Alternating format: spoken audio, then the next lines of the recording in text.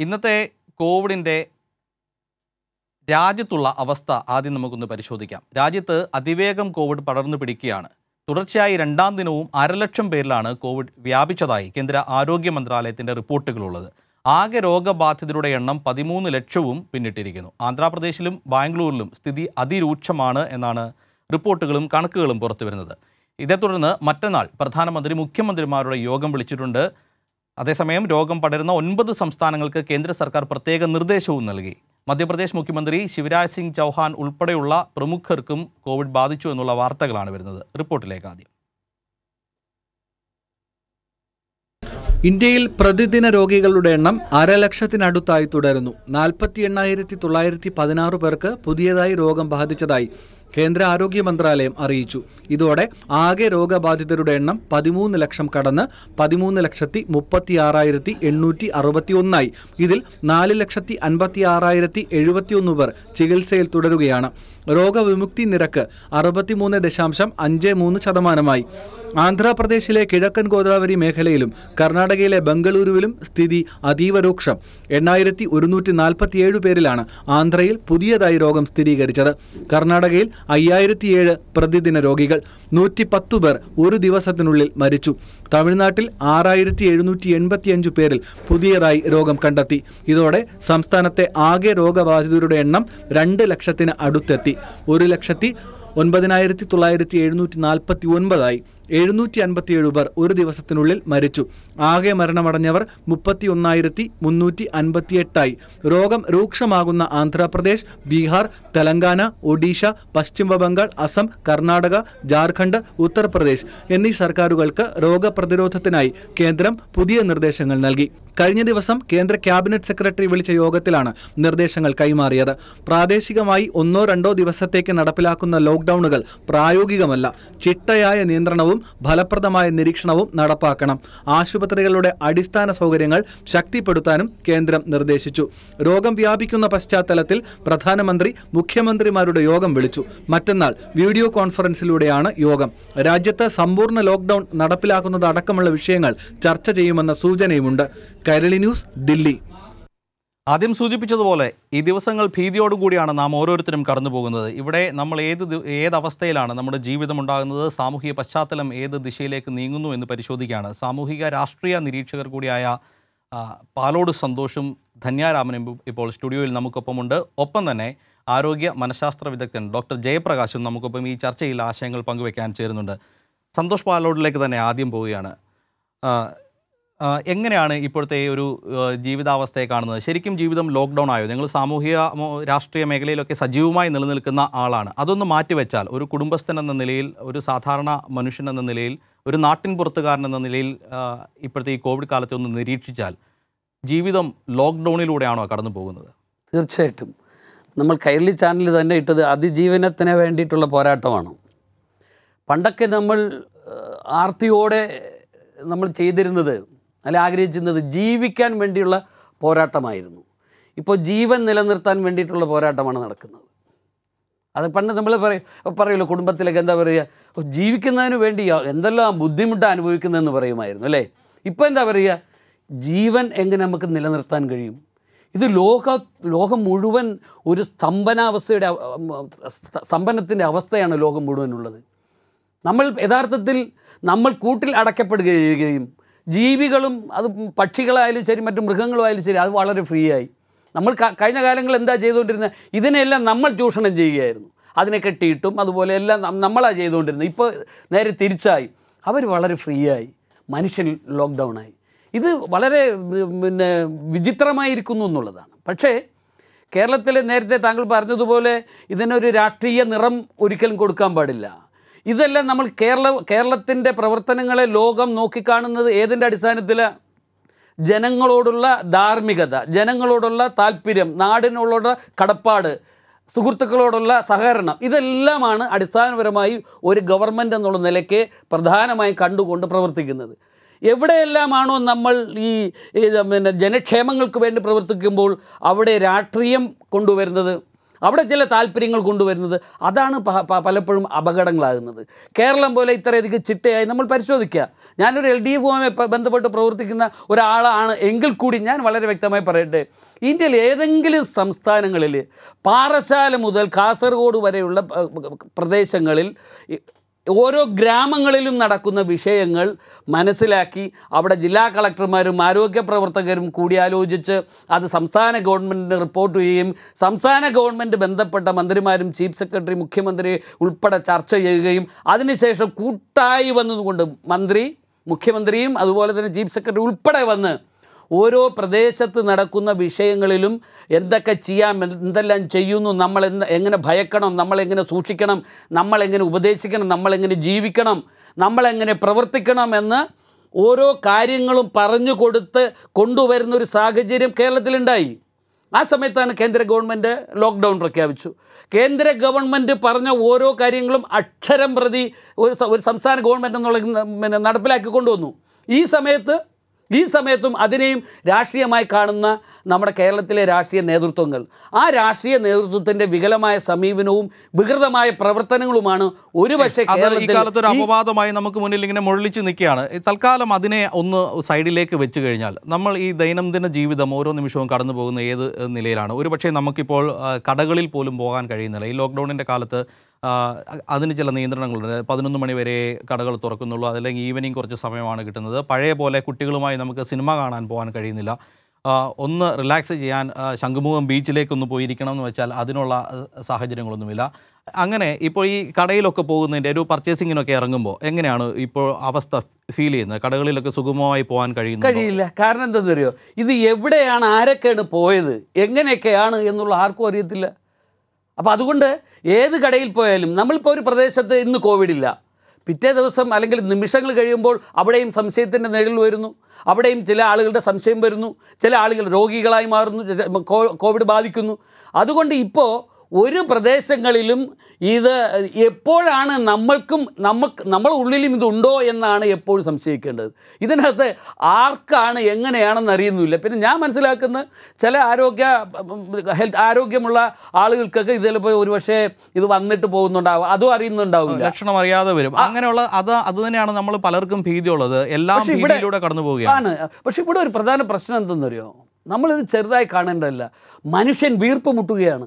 കുടുംബത്തിൽ അച്ഛനും അമ്മയും മക്കളും അടങ്ങുന്ന വരുമാനമില്ല കാർഷിക മേഖലയില്ല വ്യവസായമില്ല വണ്ടി അതുമായി ബന്ധപ്പെട്ട് പ്രവർത്തി ഒന്നുമില്ല. നിശ്ചലാവസ്ഥയിലേക്ക് പോകുന്നു. അപ്പോൾ എങ്ങനെ ജീവിക്കും? സാധാരണ ഞാൻ സാധാരണ ഒരു കാര്യം പറയട്ടെ. ഞാൻ എന്നോട് ഇപ്പോൾ നേരത്തെയൊക്കെ പൈസ കടം ചോദിച്ചിരുന്ന ആളുകൾ നൂറ് രൂപ തരുമോ? അമ്പത് രൂപ തരുമോ? എന്ന് ചോദിക്കുന്ന ഒരവസ്ഥ കാരണം എന്താ? അത്രയും അധികം ബുദ്ധിമുട്ടാണ് മനുഷ്യന്റെ മനസ്സിലുണ്ടാകുന്നത് കാര്യം. പലർക്കും ജോലി ഉണ്ടെങ്കിലും പുറത്തു പോകാൻ എന്ത് ജോലിക്ക് പോകും? അതും പേടിയാണ്. അപ്പോൾ സ്വാഭാവികമായും വളരെ സൂക്ഷ്മമായി ഒരു ഗവൺമെന്റ് പ്രവർത്തിക്കുമ്പോൾ അതിന്റെ അടിസ്ഥാനപരമായി ജനങ്ങൾ കൂടി കേരളത്തിലെ പ്രബുദ്ധതയുള്ള ജനത എന്ന് തന്നെ പറയണം. അവർ കുറേ അങ്ങനെയാണ്. പ്രബുദ്ധതയുള്ള ജനത ജാഗ്രതയോടെയാണ് പോകുന്നത്. അതിനൊപ്പം തന്നെ നമ്മളെ ഭയവും പിടികൂടിയിട്ടുണ്ട്. ഞാൻ അതിലേക്ക് വരാം. ധന്യരാമൻ ഒരു വീട്ടമ്മ എന്ന നിലയിൽ കൂടി ഈ കാര്യങ്ങളെയൊക്കെ നിരീക്ഷിച്ചാൽ വീട്ടിലെ ഒരു അവസ്ഥ എങ്ങനെയാണ്? ഇപ്പോൾ പുറത്തേക്ക് ഇറങ്ങാൻ പറ്റാത്ത സാഹചര്യമാണ് എന്ന് പറയുന്നു. ലോകം തന്നെ കഴിഞ്ഞ ആറുമാസമായി ലോക്ക്ഡൗണിലേക്ക് പോയിരിക്കുന്ന ഒരു ഘട്ടമുണ്ട്. അവിടെയാണ് നമ്മളും കുടുങ്ങിപ്പോയിരിക്കുന്ന ഒരവസ്ഥ. അവിടെ സർക്കാർ തലത്തിലുള്ള സഹായങ്ങളൊക്കെ ലഭ്യമാകുന്നുണ്ടെങ്കിലും വീട്ടിൽ നമ്മൾ കുട്ടികളോടൊപ്പമാണ് മാതാപിതാക്കളോടൊപ്പമാണ് എന്നൊക്കെ പറയുമ്പോൾ പോലും ഈ ഒരു അടച്ചുപൂട്ടലിൽ ഒരു വലിയ സന്തോഷത്തിലേക്ക് എത്താൻ നമുക്ക് കഴിയുന്നുണ്ടോ? അടച്ചുപൂട്ടിൽ വീട്ടുകാരുടെ കൂടെ ഇരിക്കുന്നതിലും ഇടപഴകുന്നതിലും അതൊക്കെ ഭയങ്കര സന്തോഷമാണ്. കാരണം എന്നെ സംബന്ധിച്ച് ഞാൻ എനിക്കൊരു മോനാണുള്ളത് ഏഴ് വയസ്സുള്ള. ഞാൻ അവനെ സത്യം പറഞ്ഞാൽ കൂടുതലൊന്നും നോക്കിയിട്ടില്ല കേട്ടോ. ഞാൻ അവനെ പ്രസവം കഴിഞ്ഞ് മുപ്പത് ദിവസം ആയപ്പം എന്റെ ജോലി നമുക്ക് ജോലി വരുമാനം വേണമല്ലോ. അപ്പോൾ അതുകൊണ്ട് ജോലി സംബന്ധമായിട്ട് കൺസ്ട്രക്ഷനാണ് എന്റെ തൊഴിൽ രംഗം അതുകൊണ്ട് തന്നെ കുറച്ചും കൂടെ നമ്മൾ ഫിസിക്കലി മെന്റലി ഒക്കെ നമ്മൾ ഭയങ്കരമായിട്ട് കുറച്ചും കൂടെ എപ്പോഴും ആക്റ്റീവ് ആയിരിക്കണം എന്നുണ്ട് അപ്പോൾ ആ ഒരു പ്രസവിച്ചവരെ മുപ്പത് ദിവസം ആകുമ്പോൾ ഞാൻ ഇട്ടിട്ട് പോയതാണ്. പിന്നെ ഈ ഓട്ടത്തിന്റെ ഇടയിൽ കുഞ്ഞിനടുത്ത് അത്ര വളരെ അടുപ്പമാണെങ്കിലും ഇപ്പം കിട്ടുന്ന അതുപോലെയുള്ള ഒരു അടുപ്പം ഇപ്പോഴാണ് ഞാൻ മനസ്സിലാക്കിയത് എന്റെ മോൻ ഏഴ് വയസ്സായി അവന് ചോറിന് കറി കൂട്ടാൻ തുടങ്ങിയില്ല ഇതുവരെ എന്നുള്ള കാര്യം ഞാൻ ഈ ലോക്ക്ഡൗണിനാണ് ഞാൻ മനസ്സിലാക്കുന്നത്. അത് ലോക്ക്ഡൗൺ സഹായകരമായ ചില സവിശേഷതകളാണ്. പ്രത്യേകിച്ച് തിരക്കുള്ള ലൈഫിലുള്ള ആളുകൾക്ക് ജീവിതത്തിൽ കുടുംബവുമായൊക്കെ ഒരുമിച്ചിരിക്കാനുള്ള സാഹചര്യം ഉണ്ടായി. എന്നാലും അതിനപ്പുറത്തേക്ക് ഞാൻ ചോദിക്കുന്നത് ഒരു പക്ഷേ ഒരു ബർത്ത്ഡേ പാർട്ടി ആഘോഷിക്കാൻ കഴിയാത്ത സാഹചര്യം ഉണ്ടാകും അല്ലെങ്കിൽ ഈ നമ്മുടെ സന്തോഷമുള്ള ഒരു കാര്യം നമ്മുടെ വയനാട്ടിലുള്ള ഒരു നമ്മുടെ ഒരു കുഞ്ഞാണ് ആദിവാസി കുഞ്ഞാണ്. അപ്പം അച്ഛനും അമ്മയും അവളുടെ അച്ഛനും അമ്മയും മരിച്ചുപോയി. അമ്മ അവളെ പ്രസവിച്ച് മൂന്നാമത്തെ ദിവസം മരിച്ചുപോയി. അപ്പോൾ അവളുടെ ബർത്ത്ഡേ ആണ്. അപ്പോൾ ഞാൻ എവിടെ ഉണ്ടെങ്കിലും അവളുടെ ഇപ്പോൾ ഇപ്രാവശ്യം അവളുടെ ഒമ്പതാമത്തെ പിറന്നാളാണ് ആഘോഷിച്ചത്. നമുക്ക് ഒമ്പത് വർഷം മുന്നേ കിട്ടിയ കുഞ്ഞാണ് അവൾ അപ്പോൾ അപ്പം തൊട്ട് ഞാൻ എല്ലാ വർഷവും അവളുടെ അടുത്ത് പോകും. കാരണം അമ്മയില്ലാത്തൊരു കുറവ് അറിയിക്കാതെ അത്രയും പിന്തുണച്ചാണ് നമ്മൾ അവളെ പൊതിഞ്ഞാണ് വളർത്തുന്നത്. അപ്പോൾ ഇത്തവണ എനിക്ക് പോകാൻ പറ്റിയില്ല. പക്ഷേ വലിയൊരു കാര്യം സംഭവിച്ചു. ഞാനിങ്ങനെ ഈ കാര്യം ഇങ്ങനെ A D G P Manoj Abraham സാറിന്റെ അടുത്ത് ഞാനിങ്ങനെ പറഞ്ഞു സാറേ നമ്മുടെ കുട്ടി അവളുടെ പിറന്നാളായി ഇത് ഇങ്ങനെ പറഞ്ഞു മെയ് ഒമ്പതിനാണെന്ന് പറഞ്ഞപ്പം എന്ത് ചെയ്യാൻ പറ്റുമെന്ന് സാറിന്റെ അടുത്ത് ചോദിച്ചപ്പോൾ സാർ അത് കുഴപ്പമില്ല നമുക്ക് ഡി ജി എടുത്ത് സംസാരിക്കാം ഒരു വീഡിയോ കോൾ ചെയ്ത് അവളെ ബർത്ത്ഡേ വിഷ് നമുക്ക് ഇവിടുന്ന് പോലീസ് ഹെഡ് ക്വാർട്ടേഴ്സ് തന്നെ കൊടുക്കാം. അതുപോലെ കമ്പളക്കാട് സ്റ്റേഷൻ പരിധിയിലാണ് അപ്പോൾ പോലീസ് ഉദ്യോഗസ്ഥർ പോവും അവർക്ക് അവൾക്ക് കേക്ക് കൊണ്ടേ കൊടുക്കും ചോക്ലേറ്റ്സും ബിസ്ക്കറ്റ്സും ആവശ്യമുള്ളതൊക്കെ കൊണ്ട് കൊടുക്കട്ടെ എന്ന് പറഞ്ഞ് അങ്ങനെ ആ ഒരു ബർത്ത്ഡേ നമ്മൾ ലൈവായിട്ട് ഇങ്ങനെ ഇങ്ങനെ ഇരുന്ന് ആഘോഷിക്കുന്നത് കണ്ടപ്പോൾ സത്യം പറഞ്ഞാൽ മനുഷ്യത്വം ഓരോ മനുഷ്യന്മാർക്കും ഏറ്റവും താഴെ തട്ടിലേക്ക് വരെ ഇറങ്ങിച്ചെന്ന് നിന്ന് ഡി ജി പി വീഡിയോ കോളിലൂടെ അവളോട് അഞ്ച് മിനിറ്റോളം സംസാരിച്ച് അവളുടെ കാര്യങ്ങളൊക്കെ തിരക്കി. ആ കുഞ്ഞിന് അവളുടെ അടുത്ത് മാത്രമല്ല ഞങ്ങളുടെ ഏതൊക്കെ മുക്കിലും മൂലയിലും കുഞ്ഞുങ്ങളുണ്ടോ അവർക്കെല്ലാം പോലീസിന്റെ വലിയൊരു സപ്പോർട്ട് ഈ ഒരു അവസരത്തിൽ കിട്ടി. അതായത് മനുഷ്യത്വപരമായിട്ടുള്ള അവർ ഒറ്റപ്പെട്ടു പോയെന്നോ അല്ലെങ്കിൽ പിന്നെ അവരെ അവരെ ആരും പരിഗണിക്കുന്നില്ല എന്നോ അങ്ങനത്തെ ഒരു തോന്നലുള്ള കുട്ടികളുണ്ട്. അപ്പോൾ അവർക്കൊക്കെ വലിയൊരു പിന്തുണയാണ് വലിയ ഒരു ഉന്നത തലത്തിൽ നിന്ന് കിട്ടിയത് അപ്പോൾ അത് അവരുടെ കോൺഫിഡൻസ് സമൂഹം ഏറ്റെടുക്കുന്ന ചില ഉത്തരവാദിത്തങ്ങൾ അതിനപ്പുറത്തേക്ക് നമുക്ക് നമ്മുടെ കുഞ്ഞിനെ ഒന്ന് പുറത്തേക്ക് കൊണ്ടുപോകാൻ കഴിയുന്നില്ല. ഒന്ന് ഒരു പുതിയ ഉടുപ്പ് വാങ്ങാൻ ഷോപ്പിങ്ങിന് കൊണ്ടുപോകാൻ കഴിയാത്ത. സാഹചര്യം. അങ്ങനെ ചില അവസ്ഥകൾ കൂടിയുണ്ട്. അതിനപ്പുറത്തേക്ക് ഒരു ഭയം കൂടി കടന്നു വരുന്നുണ്ടോ നമ്മുടെ ദൈനംദിന ജീവിതത്തിൽ ഓരോ നിമിഷവും? നമ്മൾ എത്ര ജാഗ്രതയോടെ ഇരുന്നാലും ഒരു മരണത്തിന്റെ ഇത്രയും പേര് മരിക്കുമ്പോഴൊക്കെ ഒരു മരണത്തിന്റെ ഒരു ഉത്ഭയം എല്ലാ മനുഷ്യരിലും സ്വാഭാവികമായിട്ടുണ്ടാവും. മനുഷ്യന്റെ ഒരു ജീവിതം എന്നുള്ള രീതിയിൽ സ്വാഭാവികമായിട്ട് എല്ലാവർക്കും ഉള്ള ഒരു കാര്യം തന്നെയാണ്. നമ്മൾ മാക്സിമം സുരക്ഷിതരായിരിക്കുക. നമ്മൾ സ്വയം ആ സുരക്ഷിതത്വം സ്വയം സുരക്ഷയാണ് ഏറ്റവും വലിയ പ്രാധാന്യം എന്ന് പറയുന്നത്. അപ്പോൾ അത് എത്രമാത്രം ഏറ്റെടുക്കുക എന്നുള്ളത് മാത്രമേ നമുക്കിനി ചെയ്യേണ്ടത് ചെയ്യേണ്ടതായിട്ടുള്ളൂ. പ്രതിരോധത്തിന്റെ പ്രധാന ഭാഗമാണ് സ്വയം ഉത്തരവാദിത്തം ഏറ്റെടുക്കുക. ആരിൽ നിന്ന് അത് രോഗം പകരാമെന്നൊരു നിലയിലേക്കാണ് കാര്യങ്ങൾ പോകുന്നത്. ഡോക്ടർ ജയപ്രകാശ് കൂടി നമുക്ക് വേണ്ട ഡോക്ടർ നമ്മുടെ ഒരു അവസ്ഥ ഞാൻ ആദ്യം പറഞ്ഞു കഴിഞ്ഞ ആറു മാസമായി ലോക്ക്ഡൌണിലേക്ക് പോകുന്ന ഒരു അവസ്ഥയാണ്. ദൈനംദിനം കോവിഡ് കണക്കുകളാണ് നമ്മൾ കേൾക്കുന്നത്. രാജ്യത്തിൽ പ്രതിദിനം അരലക്ഷത്തിലേക്ക് എത്തിയിരിക്കുന്നു. നമ്മൾ കേരളത്തിൽ മൂന്നക്ക സംഖ്യകളിൽ നിന്ന് നാലക്ക സംഖ്യയിലേക്കും ഈ കണക്കുകൾ കടന്ന ദിവസങ്ങളുണ്ട്. ഈ അവസ്ഥയിലൂടെ കടന്നു പോകുമ്പോൾ ഓരോ ജീവ പ്രത്യേകിച്ച് പ്രായമായവരെയും കുട്ടികളെയും ഒക്കെ നമ്മൾ റിവേഴ്സ് ക്വാറന്റൈനിൽ ആക്കിയിരിക്കുന്ന സുരക്ഷിതമായി മാറ്റിയിരിക്കുന്ന ഒരു ഘട്ടമുണ്ട്. എങ്കിൽ പോലും ഓരോരുത്തർക്കും ഭയമുണ്ട്. കാറിന്റെ ഡോറിൽ തൊട്ടാൽ ഒന്ന് തുറന്നാൽ ഭയക്കുന്ന ആളുകൾ കോവിഡ് പകരുമോ? അല്ലെങ്കിൽ ലിഫ്റ്റിന്റെ സ്വിച്ച് ഒന്ന് ഓൺ ചെയ്യാൻ നോക്കുമ്പോൾ ആ ബട്ടൺ അമർത്താൻ ഭയത്തോടെ നോക്കുന്ന ആളുകൾ. ആ നിലയിലേക്ക് കൂടി കാര്യങ്ങൾ ആ, മാറിയിരിക്കുന്നു. കാരണം നമ്മുടെ തൊട്ടടുത്ത് വരെ നമ്മുടെ സമീപവാസികൾക്ക് പോലും രോഗം ബാധിക്കുന്ന അവസ്ഥ നമ്മുടെ പ്രദേശങ്ങൾ പോലും ലോക്ക്ഡൗണിലേക്ക് പോകുന്ന അവസ്ഥ എങ്ങനെയാണ് ഒരു ആരോഗ്യ പ്രവർത്തനം എന്ന നിലയിൽ ഈ കാര്യങ്ങളെ നിരീക്ഷിക്കുന്നത്? ഇപ്പൊ നമ്മളിപ്പോ ഇവിടെ എല്ലാവരും സൂചിപ്പിച്ച കണക്ക് ഈ യഥാർത്ഥത്തിൽ ഒരു വലിയ ഒരു ഭീതിയുടെ ഘട്ടത്തിലാണ് പൊതുവിൽ സമൂഹം നിലനിൽക്കുന്നത്. നേരത്തെ പറഞ്ഞ തൊഴിൽ പ്രതിസന്ധി സാമ്പത്തിക പ്രതിസന്ധി ഇങ്ങനെയുള്ള പ്രശ്നങ്ങൾ പൊതുവിൽ ഗൃഹാന്തരീക്ഷത്തിൽ ജീവിത ദൈനംദിനമായ ജീവിതത്തിന് പ്രതിസന്ധി സൃഷ്ടിക്കുന്നുണ്ട്. അതിനോടൊപ്പമാണ് നമ്മൾ ഈ സാമൂഹിക നിയന്ത്രണങ്ങളും ലോക്ക്ഡൌണും അതുപോലെ രോഗത്തെ കുറിച്ചിട്ടുള്ള ചിന്തകളും ഒക്കെ ഉണ്ടാകുന്നത്. ഇപ്പൊ സ്വാഭാവികമായിട്ടും പൊതുവിലൊരു വ്യക്തികളും കുടുംബങ്ങളിലും വ്യക്തികളിലും ഒക്കെ തന്നെ കുടുംബങ്ങളിലെ വ്യക്തികളിലൊക്കെ തന്നെ ഒരു മാനസിക സംഘർഷം മാനസിക ഉത്കണ്ഠ നിലനിൽക്കുന്ന ഒരു സാഹചര്യമാണ് ഇപ്പോൾ ഉള്ളത്. ഇപ്പൊ ഞാൻ ഇരിക്കുന്നത് തന്നെ എന്റെ വീട് കണ്ടെയ്ൻമെന്റ് സോണിലാണ് ഇപ്പൊ ഞാൻ ഇവിടെ എനിക്ക് പുറത്തേക്ക് ഇറങ്ങാൻ ഒരു വഴിയില്ല. നാളെ രാവിലെ ഞാൻ അങ്ങനെ ആശുപത്രി പോകുമെന്നുള്ളതിനെ കുറിച്ചിട്ട് എനിക്ക് ഇപ്പോഴും ഇപ്പോഴൊരു നാളെ അല്ല മറ്റന്നാൾ. അപ്പോൾ ഈ കണ്ടെയ്ൻമെന്റ് സോണിലാണ് ഞങ്ങളുടെ റോഡിന്റെ രണ്ട് എൻഡും അടച്ചു. അപ്പോൾ ഇനി നമ്മൾ ആരോഗ്യ പ്രവർത്തകർ എന്നുള്ള രീതിയിൽ അവർ കയറ്റി വിടുക എന്നുള്ളത് നമുക്ക് അറിയാൻ വയ്യ. അപ്പൊ ഇങ്ങനെ ഓരോ ഓരോരുത്തരും ഓരോ രീതിയിൽ ഈ ഇതിനെ ബാധിച്ചുകൊണ്ടിരിക്കുകയാണ്. കേരളം മുഴുവൻ ഒരു കണ്ടെയ്ൻമെന്റ് സോണിലേക്ക് പോകുന്നത് പോലുള്ള ഒരു അന്തരീക്ഷമാണ് പൊതുവിൽ നിലനിൽക്കുന്നത്. എവിടെയാണ് നമുക്ക് സുരക്ഷിതത്വം ഉള്ളതെന്നുള്ളതിനെ സംബന്ധിച്ചിട്ടുള്ള ഒരു മാനസികമായ ഉത്കണ്ഠയും സംഘർഷവും ജീവിതത്തിലുള്ള എല്ലാ തുറകളിലും പെട്ട ജനങ്ങൾ യഥാർത്ഥത്തിൽ ഇതിൽ ഒരു ഏതെങ്കിലും ഒരു ഭാഗത്തിൽ നിന്ന് മുക്തമല്ലെന്നാണ് നമ്മൾ കാണാൻ സാധിക്കുന്നത്. അപ്പൊ ഈ ഒരു ഘട്ടത്തിൽ നമ്മൾ പരമാവധി ഗൃഹ സന്ദർശനങ്ങൾ ഒഴിവാക്കുന്നതിന് നമ്മൾ പരമാവധി ശ്രമിക്കുക. അതുപോലെ സുരക്ഷാ മാനദണ്ഡങ്ങൾ പാലിക്കുക നമ്മൾ പരസ്പരമുള്ള അടുപ്പം വീഡിയോ കോൾ ചെയ്തിട്ടോ അല്ലെങ്കിൽ ആ രീതിയിൽ ഇപ്പൊ ശാരീരികമായി അകന്നിരുന്നാലും മാനസികമായി അടുത്തിരിക്കുക എന്നുള്ള ഒരു തത്വത്തിൽ നമ്മൾ പരമാവധി ശ്രമിക്കുക. അങ്ങനെ നമ്മൾ സാമൂഹ്യ അകലം പാലിക്കുക എന്നുള്ളത് തീർച്ചയായിട്ടും അത് പാലിക്കേണ്ടി വരും. അത് എത്രത്തോളം നമുക്ക് കഴിയുന്നു അത്രത്തോളം നമുക്ക് വിജയിക്കാൻ കഴിയുമെന്നുള്ളതാണ് നമുക്ക് പ്രത്യേകിച്ച്. ഇപ്പം കണ്ടെയ്ൻമെന്റ് സോണിൽ ഇരിക്കുന്നത് കൊണ്ട് ഞാൻ അതിനെ കുറിച്ചിട്ട് ഞങ്ങളുടെ പ്രദേശത്തുള്ള ആൾക്കാരുമായിട്ട് ഫോണിലൂടെ സംസാരിക്കുകയായിരുന്നു. നമുക്ക് എങ്ങനെയാണ് കണ്ടെയ്ൻമെന്റ് സോണിൽ നിന്ന് നമുക്ക് എങ്ങനെ പുറത്തു വരാൻ കഴിയുമെന്നുള്ളത്. അപ്പൊ ഞങ്ങൾ ചർച്ച ചെയ്ത ഒരു പ്രധാനപ്പെട്ട ഒരു വെല്ലുവിളി ഈ പല രീതിയിലുള്ള ഗൃഹ സന്ദർശനങ്ങളുണ്ടല്ലോ. വിതരണങ്ങളും ക്യാമ്പുകളും വിത വിതരണങ്ങളും ഗൃഹ സന്ദർശനങ്ങളും ഒന്നും പാടില്ല. എല്ലാവരും വീടുകളിൽ തന്നെ അടങ്ങി ഒതുങ്ങി പരമാവധി വീട്ടിൽ തന്നെ ഇരിക്കുക പുറത്തേക്ക് ഇറങ്ങാതിരിക്കുക. ആ രീതിയിലുള്ള ഒരു ബിഹേവിയറൽ സ്ട്രാറ്റജി നമ്മൾ ഈ കണ്ടെയ്ൻമെന്റ് സോണിൽ ഇരിക്കുന്നത് കൊണ്ട് പാലിക്കേണ്ടി വരും. അത് തീർച്ചയായിട്ടും അങ്ങനെ ഡോക്ടർ അതിനിടയിൽ ഒരു കാര്യം കൂടി കൂട്ടിച്ചേർക്കാനുള്ളത്? നമ്മൾ ഈ ഭയത്തോടെ ഈ ഈ കാലത്തെ സമീപിക്കേണ്ടതുണ്ടോ? ഒരുപക്ഷെ അറിവില്ലായ്മ കൊണ്ടുള്ള ഭയമാണോ? അതിനപ്പുറത്തേക്ക് ജാഗ്രത അതൊരു ഭയത്തിലേക്ക് മാറേണ്ട സാഹചര്യങ്ങളുണ്ടോ? ഏത് നിലപാടാണ് നമ്മൾ സ്വീകരിക്കേണ്ടത്?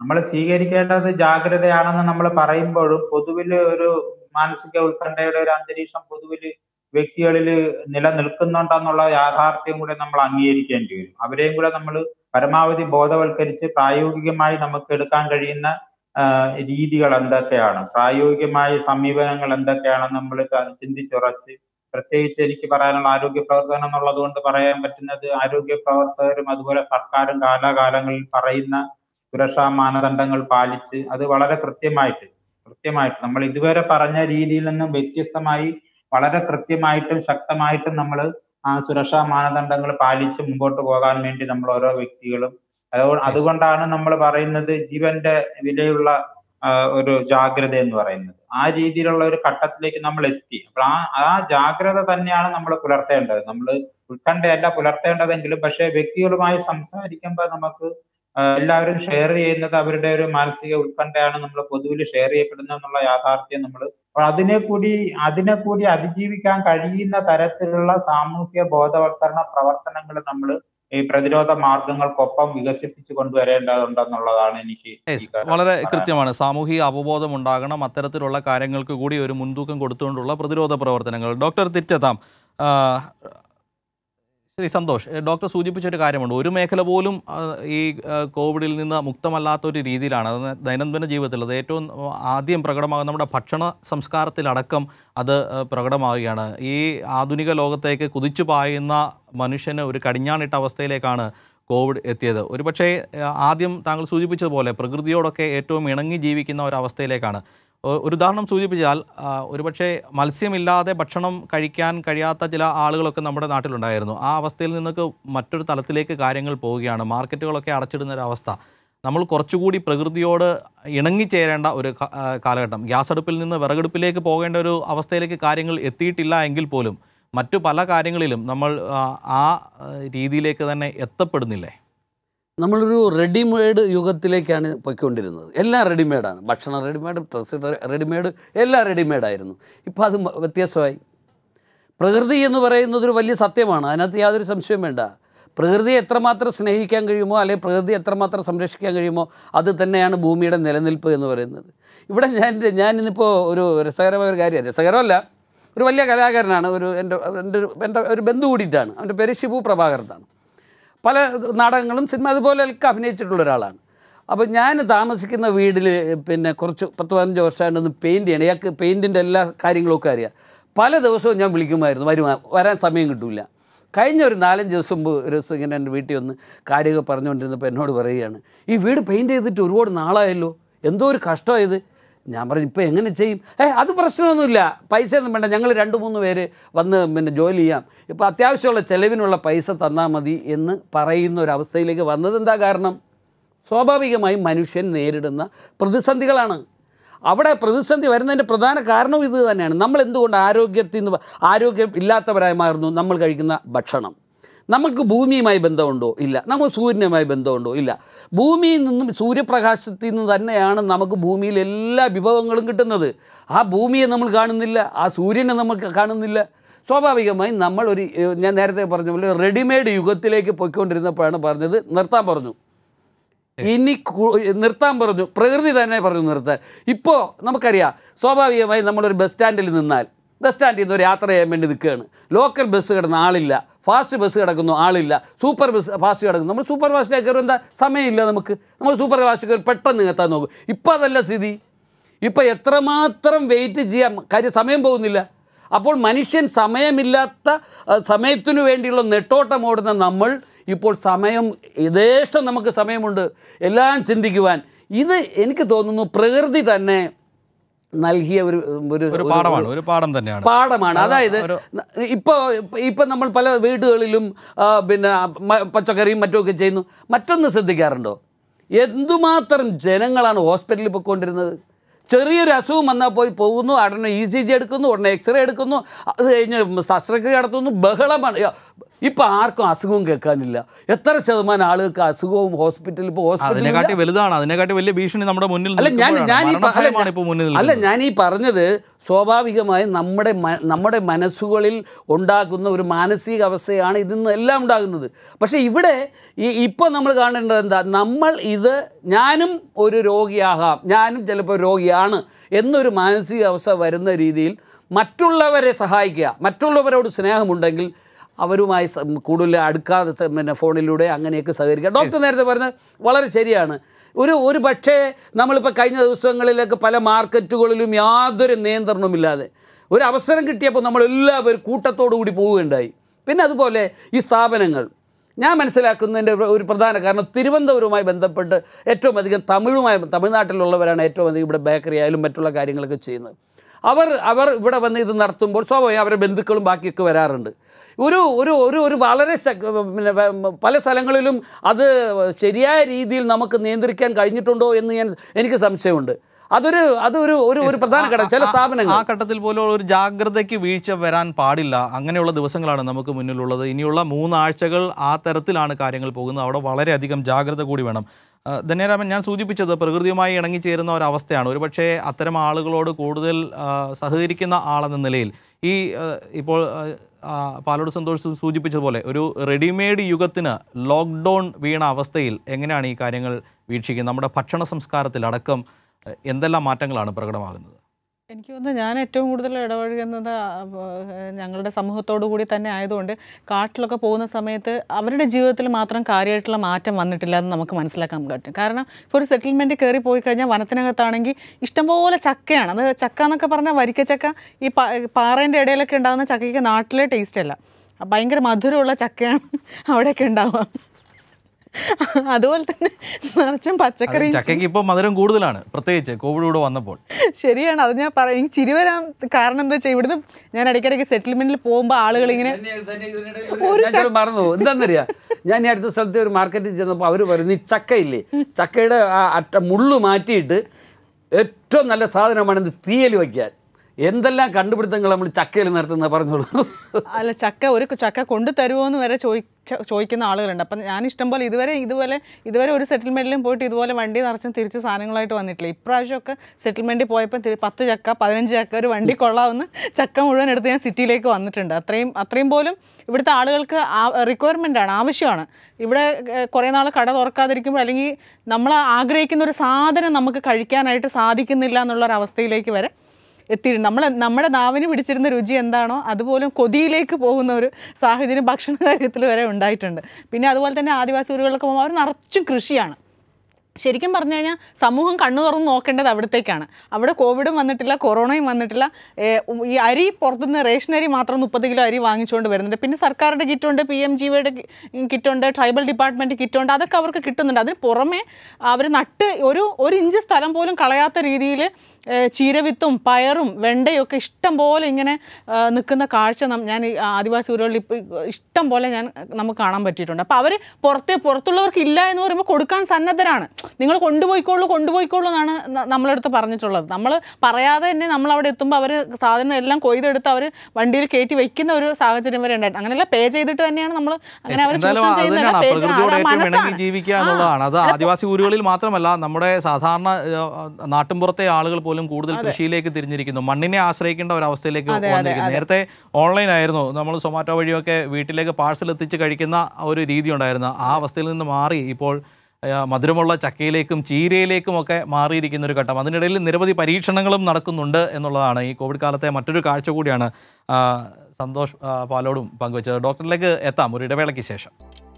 കോവിഡ് കാലത്തെ നമ്മുടെ ജീവിതങ്ങളെ പറ്റിയാണ് നമ്മുടെ സാമൂഹിക ജീവിതവും വ്യക്തിപരമായ ജീവിതവും ഒക്കെയാണ് അനുഭവങ്ങളിലൂടെയാണ് ഈ ചർച്ചയിൽ പങ്കെടുക്കുന്നവർ ആ കഥകൾ പറയുന്നത്. ഡോക്ടർ ജയപ്രകാശ് കൂടി നമുക്കൊപ്പം ഉണ്ട് ഡോക്ടർ ചില നഷ്ടബോധങ്ങൾ കൂടി ഈ കാലത്ത് നമുക്ക് ഉണ്ട്. പ്രത്യേകിച്ച് കല്യാണം മരണം അങ്ങനെയുള്ള കാര്യങ്ങളിലൊക്കെ നമുക്ക് പഴയ പോലെ ഇടപെടാൻ കഴിയാത്തൊരവസ്ഥ. ഇപ്പോൾ ഒരു കല്യാണം നടക്കുകയാണെങ്കിൽ സഹോദരങ്ങളൊക്കെ പല സ്ഥലത്തായിരിക്കും. നമുക്ക് വേണ്ടപ്പെട്ടവരെ ഒന്നും കൂട്ടിവരുത്താൻ കഴിയാത്ത സാഹചര്യമുണ്ടാവും. മരണമാണെങ്കിൽ പലപ്പോഴും അത് ആചാരപരമായ കാര്യങ്ങളിലൂടെയൊക്കെ നിറവേറ്റേണ്ടതാണ്. നമ്മുടെ സംസ്ഥാനത്തും കോവിഡ് മരണങ്ങൾ എണ്ണി തുടങ്ങിയിരിക്കുന്നു. അവിടെയും അത്തരം കാര്യങ്ങളൊന്നും യഥാവിധം നടത്താൻ പറ്റാത്തൊരു അവസ്ഥയുണ്ട്. അത് ഈ വിശ്വാസം എന്നൊക്കെ പറയുമ്പോൾ അത് മാനസികാവസ്ഥയുമായി ഏറ്റവും അടുത്ത് നിൽക്കുന്ന ഒരു മേഖല കൂടിയാണ്. അത്തരക്കാർക്കൊക്കെ വലിയ നഷ്ടബോധമൊക്കെ ഉണ്ടാകും. അത് ഒരുപക്ഷെ ഒരു ജന്മം മുഴുവൻ അത് തുടർന്നു പോകാനുള്ള ഒരു സാധ്യതയും ഉണ്ടാകും. ഒരു മനഃശാസ്ത്രജ്ഞൻ എന്ന നിലയിൽ എങ്ങനെ ഈ കാര്യങ്ങളെ വീക്ഷിക്കുന്നു? മാറിയ കാലത്തിൽ നമ്മളിപ്പം പുതിയ വെല്ലുവിളികളെ നേരിടുക ഇപ്പം ശരിക്കുള്ള ആരോഗ്യമുള്ള മനസ്സെന്ന് പറഞ്ഞു കഴിഞ്ഞാൽ പുതിയ വെല്ലുവിളികളെ നേരിടാൻ കഴിയുന്ന രീതിയിൽ നമ്മൾ ചിന്തിക്കാനും പ്രവർത്തിക്കാനും പുതിയ സാഹചര്യങ്ങളും പുതിയ സാധ്യതകളും ഉപയോഗപ്പെടുത്തിക്കൊണ്ട് വെല്ലുവിളികളെ നേരിടാൻ കഴിയുക എന്നുള്ളതാണ് ആരോഗ്യമുള്ള ഒരു മനസ്സിന്റെ ഒരു ലക്ഷണം എന്ന് പറയുന്നത്. അതിന്റെ മുമ്പിൽ പകച്ചു നിൽക്കുന്നതല്ല ആരോഗ്യമുള്ള ഒരു മനസ്സിന്റെ ഒരു ലക്ഷണം എന്ന് പറയുന്നത്. അപ്പൊ അങ്ങനെ പകച്ചു നിൽക്കാതെ തന്നെ നമ്മൾ പുതിയ കാലത്തിൽ സാധ്യതകളും അതുപോലെ തന്നെ പുതിയ കാലത്തിലെ വെല്ലുവിളികളും മനസ്സിലാക്കി വിശകലനം ചെയ്ത് അതിനെ നമുക്ക് എങ്ങനെ പ്രായോഗികമായി നേരിടാൻ കഴിയും. പ്രായോഗികമായി എന്ന് പറയുമ്പോൾ കേവലമായി പറയുന്നതല്ല. പ്രായോഗികം എന്ന് പറയുമ്പോൾ നമുക്ക് ഇന്നത്തെ കാലത്തിൽ നമുക്ക് എന്തൊക്കെ ചെയ്യാൻ കഴിയും എന്നുള്ളതും നമ്മൾ നമ്മൾ ഒരു കോവിഡ് കാലത്ത് നമ്മൾ പ്രത്യേകിച്ച് നമ്മൾ ഇത്തരം ആഘോഷങ്ങളും ആചാരങ്ങളും ഒക്കെ സംബന്ധിച്ച് നമ്മൾ പരിശോധിച്ച് നോക്കുമ്പോൾ നമ്മൾ കാണേണ്ട ഒരു കാര്യം നമ്മൾ ആചാരപരമായി ശീലിക്കുന്ന കാര്യങ്ങൾ മറ്റുള്ളവർക്ക് ദോഷമായി വരാൻ പാടില്ല. ഇപ്പൊ നമ്മളെ വീട്ടിൽ കല്യാണത്തിന് നമ്മൾ ആളുകളെയൊക്കെ പറ്റിച്ചും കൊണ്ട് കുറച്ച് ആൾ കൂടി കല്യാണം നടത്താമെന്ന് വിചാരിച്ചു കഴിഞ്ഞാൽ അത് മറ്റുള്ളവരോട് ചെയ്യുന്ന ദ്രോഹമായിട്ട് മാറും അപ്പൊ ഈ ഒരു കാലഘട്ടത്തിൽ നമ്മൾ അത് മനസ്സിലാക്കണം. അതിനനുസരിച്ച് നമ്മൾ നമ്മളുടെ മനസ്സിനെയും നമ്മളുടെ ആചാര രീതികളെയും നമ്മളെ ബന്ധുക്കളെയും ഒക്കെ നമ്മൾ പറഞ്ഞ് മനസ്സിലാക്കി അതിനനുസരിച്ച് സാഹചര്യത്തിന് ഒത്തുപോകാൻ കഴിയുന്ന രീതിയിൽ നമ്മളുടെ പ്രവർത്തനം കൊണ്ട് മറ്റുള്ളവർക്ക് ദോഷം ഉണ്ടാകാൻ പാടില്ലാത്ത രീതിയിൽ. അതുകൊണ്ട് ഇതിപ്പോ ഇപ്പോഴത്തെ ഒരു പ്രശ്നം എന്ന് പറഞ്ഞാൽ നമ്മളുടെ പ്രവൃത്തി നമ്മളെ മാത്രമല്ല ബാധിക്കുന്നത്. ഇന്നത്തെ ഒരു കോവിഡിന്റെ ഒരു തീവ്ര വ്യാപന പശ്ചാത്തലത്തിൽ നമ്മൾ കാണേണ്ട ഒരു കാര്യം നമ്മളെ മാത്രമല്ല നമ്മളെ നമ്മുടെ പ്രവർത്തനങ്ങൾ ബാധിക്കുന്നത്. നമ്മുടെ പ്രവൃത്തി നമ്മുടെ ഒരു പ്രദേശത്തെ ബാധിക്കുക ആ പ്രദേശത്ത് രോഗവ്യാപനം ഉണ്ടാകുന്നതിന് നമ്മുടെ പ്രവൃത്തി മൂലം കാരണമായി തീരാൻ പാടില്ല. അപ്പോൾ അതാണ്. അതുകൊണ്ട് അത് സ്വാഭാവികമായിട്ടും അത്തരം വെല്ലുവിളികളെ നമ്മൾ ഉൾക്കൊണ്ടുകൊണ്ട് ആചാരപരമായ കാര്യങ്ങളിലൊക്കെ നമ്മൾ കോംപ്രമൈസ് ചെയ്യാൻ തയ്യാറാവുക എന്നുള്ളതാണ്. അതിനനുസരിച്ചിട്ടുള്ള ബോധവൽക്കരണ സാമൂഹ്യ ബോധവൽക്കരണ ശ്രമങ്ങളും നമ്മൾ സമൂഹത്തിൽ സൃഷ്ടിക്കേണ്ടതുണ്ട്.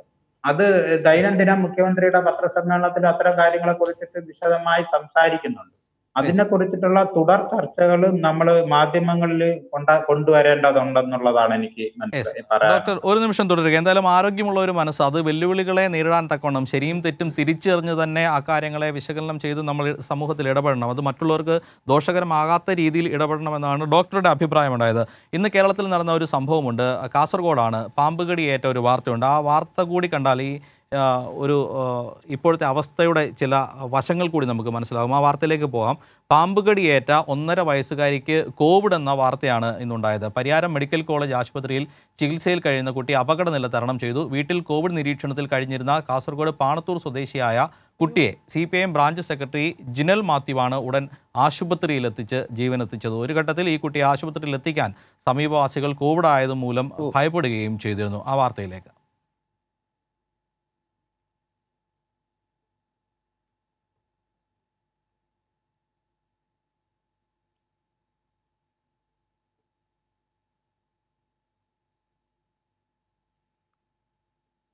യെസ് ആ വാർത്തയിലേക്ക് അല്പ അല്പനിമിഷങ്ങൾക്കകം എത്താം. ഇത് കാസർഗോഡ് ബേബി വോയിസ് ഓവർ കൊടുക്കാമെന്നാണ് പ്രതീക്ഷിച്ചത്. ചില സാങ്കേതിക തടസ്സങ്ങളുണ്ടാകുന്നു അതിലേക്ക് എത്താം സന്തോഷ് ഇപ്പോൾ അവസ്ഥ ഇതാണ്. ചിലപ്പോൾ ഒരു അത്യാവശ്യ ഘട്ടത്തിൽ പോലും നമ്മൾ ഈ കല്യാണമോ അങ്ങനെയുള്ള ആഘോഷങ്ങളോ ഒക്കെ മാറ്റിവെക്കാം. പക്ഷേ തൊട്ടടുത്ത ഒരു തൊട്ട അയൽവ അയൽവക്കത്തുണ്ടാകുന്ന ആവശ്യങ്ങൾക്ക് പോലും ജനങ്ങൾ ഒരുപക്ഷെ ഭയപ്പെട്ട് മാറി നിൽക്കുന്ന ഒരവസ്ഥയാണ് പാമ്പ് കടിയേറ്റ ഒന്നര വയസ്സുകാരിയുടെ കഥയാണ് ഇന്ന് കാസർഗോഡ് നിന്ന് വരുന്നത്. അവർ കോവിഡ് നിരീക്ഷണത്തിൽ കഴിയുന്ന ഒരു കുടുംബമായിരുന്നു. അവിടുത്തെ ഒരു കുട്ടിക്ക് പാമ്പ് കടിയേറ്റപ്പോൾ ഓടി അവരെ ഒന്ന് ആശുപത്രിയിൽ എത്തിക്കാൻ പോലും സമീപവാസികൾ ആദ്യം തയ്യാറായില്ല. പിന്നീട് അവിടുത്തെ രാഷ്ട്രീയ പ്രവർത്തകരൊക്കെ ഇറങ്ങിത്തിരിച്ച് എത്തിയതുകൊണ്ടാണ് യഥാസമയം ആശുപത്രിയിൽ എത്തിക്കാൻ കഴിഞ്ഞത്. സന്തോഷിലേക്ക് എത്താം. റിപ്പോർട്ട് കണ്ട ശേഷം. ബീഹാറിൽ അധ്യാപക ദമ്പതികളായിരുന്നവരുടെ മകളാണ് പാമ്പുകടിയേറ്റ കുട്ടി. പാണത്തൂർ വട്ടക്കയത്തെ പഴയ വീട്ടിൽ അധ്യാപക ദമ്പതികളുടെ മൂന്ന് കുട്ടികളും നിരീക്ഷണത്തിൽ കഴിയുകയായിരുന്നു. ജനൽ തുറക്കുമ്പോഴാണ് ഒന്നര വയസ്സുകാരനായ കുട്ടിക്ക് പാമ്പുകടിയേറ്റത്. ചോരയൊലിക്കുന്ന നിലയിൽ കരയുന്ന കുട്ടിക്ക് സമീപം അണലിയെ കണ്ടെത്തി. വീട്ടുകാരുടെ ബഹളം കേട്ട് നാട്ടുകാർ ഓടിക്കൂടിയെങ്കിലും കോവിഡ് ഭയത്താൽ ആരും വീട്ടിലേക്ക് ചെന്ന് കുട്ടിയെ ആശുപത്രിയിലെത്തിക്കാൻ തയ്യാറായില്ല. വിവരമറിഞ്ഞെത്തിയ C branch secretary Jinan Mathew കുട്ടിയെ വാരിയെടുത്ത് വാഹനത്തിൽ കാഞ്ഞങ്ങാട്ട് ജില്ലാ ആശുപത്രിയിലും തുടർന്ന് കണ്ണൂർ മെഡിക്കൽ കോളേജിലും എത്തിച്ച് ജീവൻ രക്ഷിച്ചു. കുട്ടി അപകടനില തരണം ചെയ്തു. കുട്ടിയുടെ വീട് എന്റെ വീടിനോട് ചേർന്നാണ്. എന്റെ അയൽവക്കത്താണ് അവർ താമസിക്കുന്നത്. നിലവിളി കേട്ടുകൊണ്ടാണ് ഞാൻ അവിടത്തേക്ക് ഓടി ഇറങ്ങി ചെല്ലുന്നത്. ഒരുപാട് പേര് ആ വീട്ടിലേക്ക് വന്നിരുന്നെങ്കിൽ ആരും പോകാൻ ധൈര്യപ്പെട്ടില്ല. ഞാൻ എന്റെ സ്വയമേയുള്ള ധൈര്യത്തിന്റെ മുകളിൽ ഞാൻ ആ വീട്ടിലേക്ക് പാഞ്ഞു കയറി ചെല്ലുകയും പിന്നെ പാമ്പിനെ കണ്ടു. പാമ്പിനെ തല്ലി കൊന്ന് പിന്നെ പാമ്പിനെ കൊന്ന് ഒരു കൂട്ടിലെടുത്ത് കൊച്ചിനെ എടുത്ത് ആംബുലൻസ് വിളിച്ച് ഞാൻ സ്വയമേ ഹോസ്പിറ്റലിൽ എത്തിക്കുമായിരുന്നു അതുകൊണ്ട് എത്രയും പെട്ടെന്ന് അങ്ങനെ എത്തിക്കാൻ പറ്റിയത് കൊണ്ട് ആ ഒരു ജീവൻ രക്ഷിക്കാനും പറ്റി. കോവിഡ് പരിശോധനയിൽ കുട്ടിക്ക് ഫലം പോസിറ്റീവാണ്. കുട്ടിയുടെ മാതാപിതാക്കളും സഹോദരങ്ങളും ജിനൽ മാത്യുവും ക്വാറന്റൈനിലാണ്. ജിനൽ മാത്യുവിന്റെ ത്യാഗസന്നദ്ധതയാണ് കുട്ടിയുടെ ജീവൻ രക്ഷിച്ചത്. കൈരളി ന്യൂസ് കാസർഗോഡ്. ഇതാണ് അവസ്ഥ. ഒരുപക്ഷെ ഈ കോവിഡ് കാലത്ത് ഇത്തരം ചില വെല്ലുവിളികൾ കൂടി നമ്മൾ നേരിടേണ്ടതുണ്ട്. ഒരുപക്ഷെ ഈ ക്വാറന്റൈനിൽ കഴിയുന്നവരുടെ മനോനില അതും കൂടി നമ്മൾ പ്രത്യേകം പരിശോധിക്കണം. നിർവാഹമില്ലാത്തൊരവസ്ഥയിൽ അവരെ സഹായിക്കാൻ ആരെങ്കിലും ഒക്കെ ഉണ്ടാകണം. സർക്കാർ സംവിധാനങ്ങൾ ചെയ്യുന്നതിനപ്പുറത്തേക്ക് പലർക്കും ചെയ്യാൻ കഴിയും. പക്ഷേ അവരും ഭയപ്പെട്ട് നിൽക്കുകയാണ്. ക്വാറന്റൈനിൽ കഴിയുന്നു. ആ വഴിയിലേക്കൊന്ന് ഓടിയെത്തി അവരെ സഹായിക്കാൻ മനസ്സുണ്ടെങ്കിൽ പോലും ഒന്ന് മടിച്ചു നിൽക്കുന്ന അവസ്ഥയിലേക്ക് കാര്യങ്ങൾ എത്തുന്നു. ശ്രീ സന്തോഷ് പാലോട് രണ്ട് കാര്യങ്ങളാണ്. ഇങ്ങനത്തെ കാര്യങ്ങൾ വരുമ്പോൾ നമ്മൾ എങ്ങനെയാണ് ഇടപെടേണ്ടതെന്നൊരു വലിയ ചോദ്യമായി നമുക്ക് മുന്നിൽ നിൽക്കുന്നുണ്ട്. ഈ ക്വാറന്റൈനിൽ കഴിയുന്നവർക്ക് സഹായം എത്തിക്കുക അവരുടെ ഒരു മനോനില അത് പലതരത്തിൽ പോകുന്നു. അതിനപ്പുറത്തേക്ക് അവരെ അവരുടെ ഒരു അതിജീവനമുണ്ട് അവർ തുടർച്ചയായി പതിനാല് ദിവസമോ അല്ലെങ്കിൽ കുറച്ച് കാലം അവർ ഒരു കുടുംബത്തോടെ മാറി നിൽക്കേണ്ടി വന്നാൽ അവരുടെ അതിജീവനം ഉൾപ്പെടെയുള്ള കാര്യങ്ങൾ പ്രതിസന്ധിയിലേക്ക് പോകുന്ന ഘട്ടത്തിൽ പലവിധ സഹായം അവർക്ക് എത്തേണ്ടതുണ്ട്. രോഗം ബാധിച്ച് തിരിച്ചെത്തിക്കഴിഞ്ഞാൽ അവരെ ഉൾക്കൊള്ളേണ്ടതും ഈ സമൂഹം തന്നെയാണ്. അവിടെയും പലർക്കും വലിയ ആശങ്കകളാകും. നെഗറ്റീവായ ആളുകൾ പുറത്തേക്ക് വന്നു കഴിഞ്ഞാൽ അയ്യോ ഇയാൾ കോവിഡ് രോഗി ആയിരുന്നോ എന്ന് പോലും ചിന്തിക്കുന്ന ആളുകൾ അങ്ങനെ പുറത്ത് പ്രകടിപ്പിച്ചില്ലെങ്കിൽ പോലും ആ ഒരു ഭീതിയോടെ തന്നെ ആളുകളെ കാണുന്ന ഒരു ചിലയിടങ്ങളിലെങ്കിലും അങ്ങനെ കാണുന്നു. ആളുകളെ കയ്യേറ്റം ചെയ്യുന്ന രീതിയിലേക്ക് പോലും ചില സന്ദർഭങ്ങൾ ഉണ്ടാകുന്നു. തീർച്ചയായും സഹാവിനെ എത്രമാത്രം അഭിനന്ദിച്ചാലും അദ്ദേഹത്തിന്റെ മനസ്സിന് പിന്നെ അദ്ദേഹത്തിന് അത് എത്രമാത്രം പറഞ്ഞാലും അത് മതിയാകത്തില്ല. എന്തായാലും അത് നല്ല കാര്യമായി. ഇവിടെ ഒരു പ്രധാന വിഷയമുള്ളത് എന്തുണ്ടാ? ഭയമാണ് ഒരു പ്രധാന ഘടകം. അത് കുറ്റം പറഞ്ഞിട്ട് കാര്യമില്ല. ലോകം മുഴുവൻ ഇങ്ങനെ സ്തംഭനാവസ്ഥയിൽ നിൽക്കുമ്പോൾ ജനങ്ങൾ ഒരു വ്യക്തിയായാലും ശരി ഭയപ്പെടുന്നു. ആ ഭയത്തിന്റെ ഭാഗമായി എന്തുണ്ടാവുക? മറ്റുള്ളവരെ സഹായിക്കുന്നതിലും ഭയം വരും. അപ്പോൾ കണ്ടാലും കണ്ടില്ല എന്ന് നടിക്കുന്നു. അങ്ങനെയാണ് സ്വാഭാവികമായും വരുന്നത്. അതുകൊണ്ട് ഈ നമ്മുടെ ഗവൺമെന്റും അതുപോലെ തന്നെ സാമൂഹ്യ പ്രവർത്തകരും ആരോഗ്യ പ്രവർത്തകരും പോലീസുമൊക്കെ പോലീസൊക്കെ ഇന്ന് വളരെ വ- ആളുകളുടെ അടുത്ത് പെരുമാറുന്നത് വളരെ എന്തുമാത്രം കാര്യമായിട്ടാണ് പെരുമാറുന്നത്? അപ്പോൾ ആരോഗ്യ പ്രവർത്തകർ പറയുന്നു എല്ലാവരും പറയുന്നു നിങ്ങൾക്ക് പ്രശ്നമില്ല. ഈ ഒരു മാനസികാവസ്ഥ ഗവൺമെന്റ് അഭിപ്രായം ഇതെല്ലാം വളരെ നമുക്ക് ഈ രോഗവുമായി ബന്ധപ്പെട്ടവർക്കായാലും ശരി അല്ലെങ്കിൽ രോഗമില്ലാത്തവരായാലും ശരി എന്തെങ്കിലും അപകടങ്ങൾ പറ്റിപ്പോയാൽ ഒരു സംരക്ഷണം ഉണ്ടാകും എന്നൊരു മാനസികാവസ്ഥ ഉണ്ടാകുന്നത് ഒരു വലിയ ശരിയാണ് വലിയ ഘടകമാണ് അത് കേരളത്തിലുണ്ട് എന്നുള്ളതാണ്. പിന്നെ എന്റെ ചില അനുഭവങ്ങളോട് ഈ സമയത്ത് ജോൺ പറയാതിരിക്കാൻ നിവർത്തിയില്ല. ഞാൻ രണ്ട് ദിവസം സാധാരണ എന്റെ അമ്മയൊക്കെ അങ്ങ് പാലോടാ ഉള്ളത്. അമ്മ ഈ കോവിഡ് വരുന്നതിന് മുമ്പ് ആഴ്ചയിൽ ഒന്നോ രണ്ടോ പ്രാവശ്യം വിളിച്ചിട്ട് ചെല്ലാൻ പറയും കാര്യം നല്ല ഭക്ഷണമൊക്കെ ഉണ്ടാക്കി വയ്ക്കും. ഇപ്പോൾ അമ്മ വിളിക്കുമ്പോൾ പറയും അവിടെ എല്ലാം പ്രശ്നമാണെന്നാണല്ലോ പറയുന്നത്. അതുകൊണ്ട് സൂക്ഷിച്ച് വരണം. എന്ന് പറഞ്ഞാൽ വരണോ വരണ്ടേ? ഞാൻ പറഞ്ഞു മാനസികാവസ്ഥ മെനിങ്ങാന്ന് അതുപോലെ മറ്റൊരു സംഭവം. മെനിങ്ങാന്ന് ഞാൻ ഇവിടെ നിന്ന് ഇങ്ങനെ പാലോടേക്ക് പോകുമ്പോൾ എല്ലാ സ്ഥലങ്ങളിലും ഈ മീനിന്റെ കരുവാട് കച്ചവടം ചെയ്യുന്ന ആളുകളാണ്. ഒരു സ്ഥലത്ത് നിന്നപ്പോൾ രണ്ടുപേര് ടൈയും കെട്ടി എന്നിട്ട് മീൻ വിൽക്കുക കരുവാട് മീൻ വിൽക്കുകയാണ് അപ്പോൾ സ്വാഭാവികം ഞാൻ കുറേ മുന്നോട്ട് പറ്റി ഇത് എന്താണെന്ന് അറിയണമല്ലോ എന്ന് വെച്ചിട്ട് തന്നെയാണ് ഞാൻ കുറച്ച് പുറകിലോട്ട് വന്നിട്ട് പതുക്കെ ഇറങ്ങിയിട്ട് ഇവരെ അടുത്ത് വന്നിട്ട് ചോദിച്ചു എന്താണ് നിങ്ങൾ ടൈം കെട്ടി ഇന്ന് മീൻ വിൽക്കുന്നതെന്ന് ചോദിച്ചു പച്ച മീൻ വിൽക്കുന്നതെന്ന് ചോദിച്ചു? അപ്പോഴാണ് എന്നോട് പറഞ്ഞത് അങ്ങനെയെങ്കിലും ഒരു സഹതാപം തോന്നിയിട്ട് ആളുകളൊന്ന് വാങ്ങുമെങ്കിൽ വാങ്ങട്ടെ. ഞാൻ ചോദിച്ചു ഇതിൽ മറ്റെന്തെങ്കിലും ഒരു പ്രത്യേകത ഇല്ല സാറേ?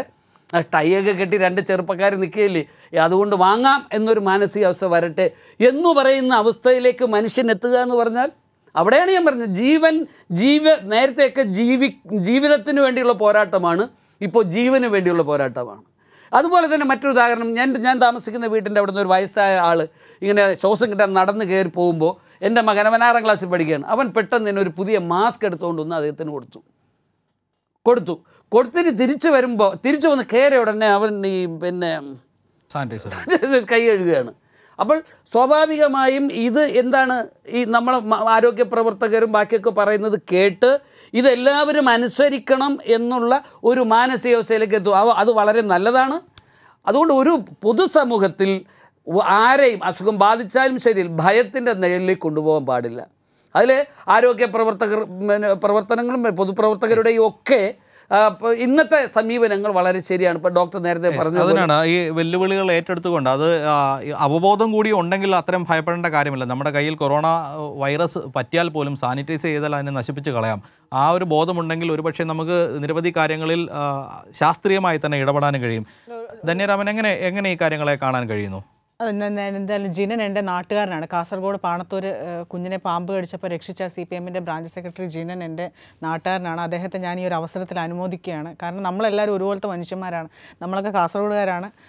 നമുക്ക് നമുക്ക് നമ്മൾക്ക് ഒരു കാര്യം കണ്ട് അങ്ങ് കണ്ട് നിൽക്കാത്ത ആളുകളാണ്. പക്ഷേ ആളുകൾക്ക് എന്തുമാത്രം ഭയം ഉണ്ടായിട്ടാണ് അവരുടെ അടുത്ത് അടുക്കാത്തതെന്നുള്ളതൊന്ന് നമ്മളൊന്ന് ഊഹിച്ചാൽ മതി. അപ്പോൾ അതൊരു എന്താ പറയണ്ടേ ജീവന് വേണ്ടിയിട്ടുള്ളതാണെങ്കിലും അത് ഇതൊക്കെ കുറച്ച് സ്വാർത്ഥമായി പോയില്ലേ എന്നുള്ളൊരു തോന്നൽ എന്നെ സംബന്ധിച്ചിട്ടുണ്ട്. കാരണം ഞാൻ അങ്ങനെ ചിന്തിക്കുന്ന ഒരാളായതുകൊണ്ടായിരിക്കും എനിക്ക് തന്നെ അങ്ങനത്തെ എക്സ്പീരിയൻസ് ഉണ്ടായിട്ടുണ്ട്. കാരണം ആദ്യത്തെ ലോക്ക്ഡൗൺ വന്ന സമയത്ത് ആദ്യത്തെ ലോക്ക്ഡൗൺ വന്ന് പെട്ടെന്ന് തന്നെ ഹസ്ബൻഡ് ഹോസ്പിറ്റലൈസ്ഡ് ആയി. ഹോസ്പിറ്റലിൽ അഡ്മിറ്റ് ചെയ്യേണ്ട ഒരു സാഹചര്യം വന്നു. പിന്നെ ഞാനും ഏഴ് വയസ്സുള്ള കുഞ്ഞും മാത്രമേ വീട്ടിലുള്ളൂ. അപ്പോൾ ഒരു സന്ധ്യ കഴിഞ്ഞപ്പോഴത്തേക്കും കുഞ്ഞ് ഛർദ്ദിച്ച് ഛർദ്ദിച്ച് ഛർദ്ദിച്ച് എന്തോ എന്നോട് പറയാതെ ഒരു കേക്കിന്റെ കഷ്ണം കഴിച്ചതാണ് അവൻ അറിയാതെ.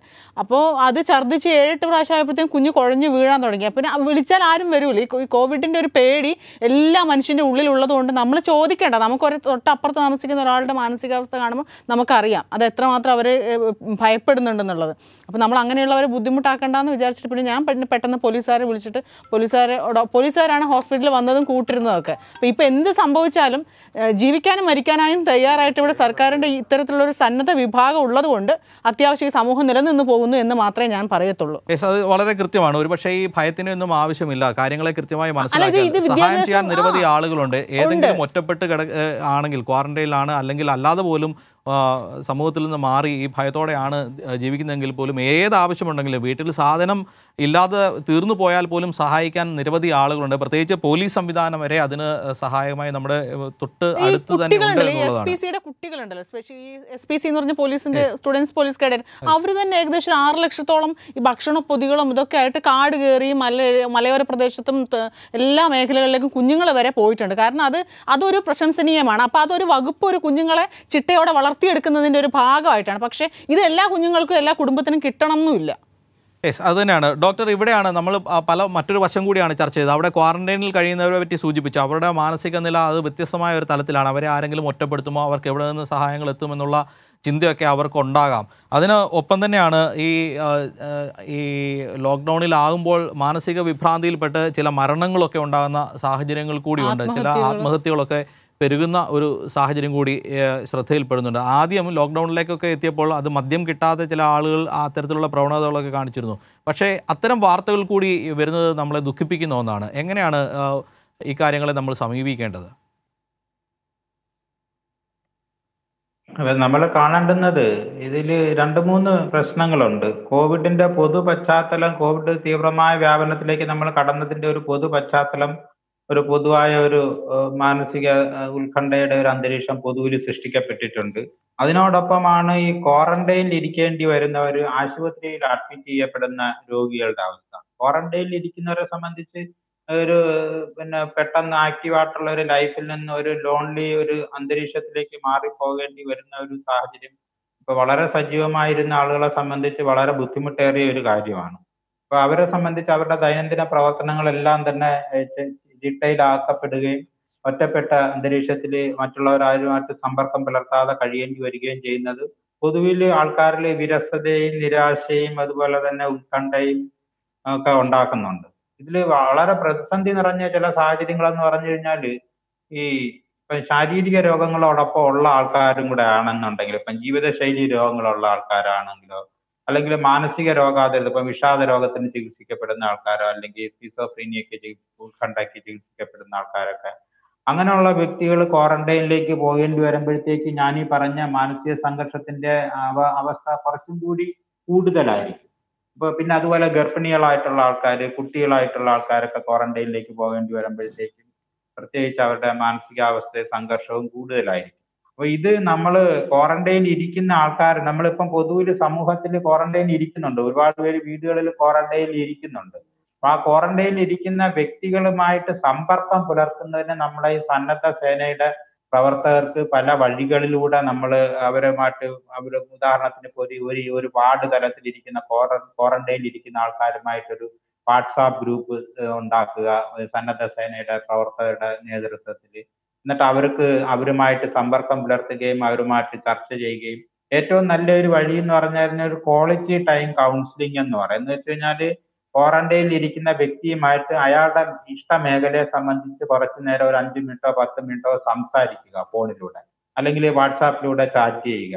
അങ്ങനെ അങ്ങനെയൊക്കെ ചെയ്തും കൊണ്ട് നമ്മൾ ഈ കോവ കോവിഡിന്റെ ശാരീരിക രോഗത്തിന്റെ പശ്ചാത്തലത്തിൽ അതിന് നമ്മൾ കൊടുക്കുന്ന പ്രതിരോധ മാർഗങ്ങളോടൊപ്പം തന്നെ നമ്മൾ തുല്യമായിട്ട് തന്നെ മാനസികാരോഗ്യ സംരക്ഷണത്തിന് കോവിഡ് കാലത്തെ മാനസികാരോഗ്യ സംരക്ഷണത്തിന് നമ്മൾ തുല്യ പ്രാധാന്യം കൊടുത്തും കൊണ്ട് വേണം നമ്മൾ പദ്ധതികൾ ആസൂത്രണം ചെയ്യേണ്ടുന്നതും പൊതുവിൽ നടപ്പിൽ വരുത്തേണ്ടതും എന്നുള്ളതാണ് നമ്മൾ കാണുന്നത്.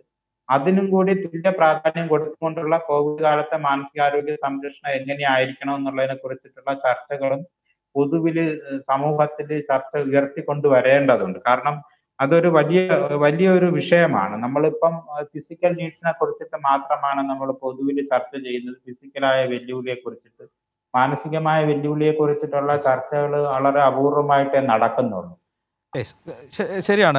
വ്യക്തമാണ് ഡോക്ടർ. ഡോക്ടറിലേക്ക് തിരിച്ചെത്താം. ഇപ്പോൾ മാതൃകാപരമായ ഒരു പ്രവർത്തനം കൂടി അതും കാസർഗോഡ് നിന്ന് തന്നെയാണ് ലഭ്യമായത്. മറ്റു വാർത്ത കൂടിയുണ്ട് കോവിഡ് ക്വാറന്റൈനിൽ കഴിയുന്ന കുടുംബത്തിന് വയലൊരുക്കി ഞാറ് നടാൻ ഡിവൈഎഫ്ഐ പ്രവർത്തകരുടെ സഹായഹസ്തമുണ്ടായി. കാസർഗോഡ് കുമ്പടാജയിലെ നാരായണ റേയുടെ വയലിലാണ് യുവാക്കൾ കൃഷി ഇറക്കാൻ സഹായിച്ചത്. കത്തിൽ നിന്നും വന്ന നാരായണ റേയുടെ മകൻ കോവിഡ് നിരീക്ഷണത്തിലായതിനെ തുടർന്ന് വയലിൽ പണിയെടുക്കാൻ ആരും സന്നദ്ധമാകാതിരുന്നപ്പോഴാണ് യുവജനങ്ങൾ കൈത്താങ്ങുമായി എത്തിയത്. ആ റിപ്പോർട്ട് കൂടി കാണാം.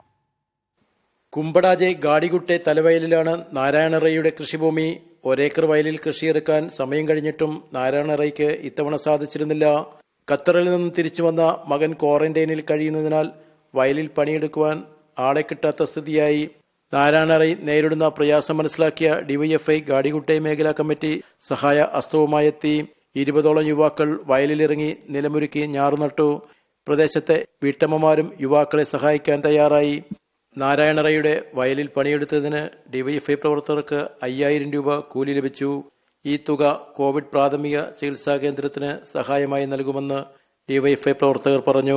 ക്വാറന്റൈനിൽ കഴിയുന്ന ചിറ്റിമ്പളയിലെ നാരായണയുടെ മകൻ.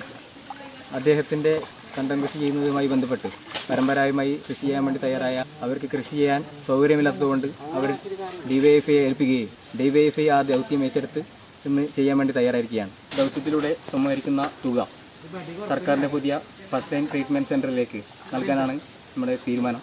നേരത്തെ ഒരു വീടിന്റെ നിർമ്മാണത്തിന് ചെങ്കല്ല് ചുമന്ന് കിട്ടിയ നാലായിരത്തി ഇരുന്നൂറ് രൂപ മുഖ്യമന്ത്രിയുടെ ദുരിതാശ്വാസ നിധിയിലേക്ക് ഡിവൈഎഫ്ഐ കാടിഗുഡ്ഡെ മേഖലാ കമ്മിറ്റി സംഭാവന ചെയ്തിരുന്നു.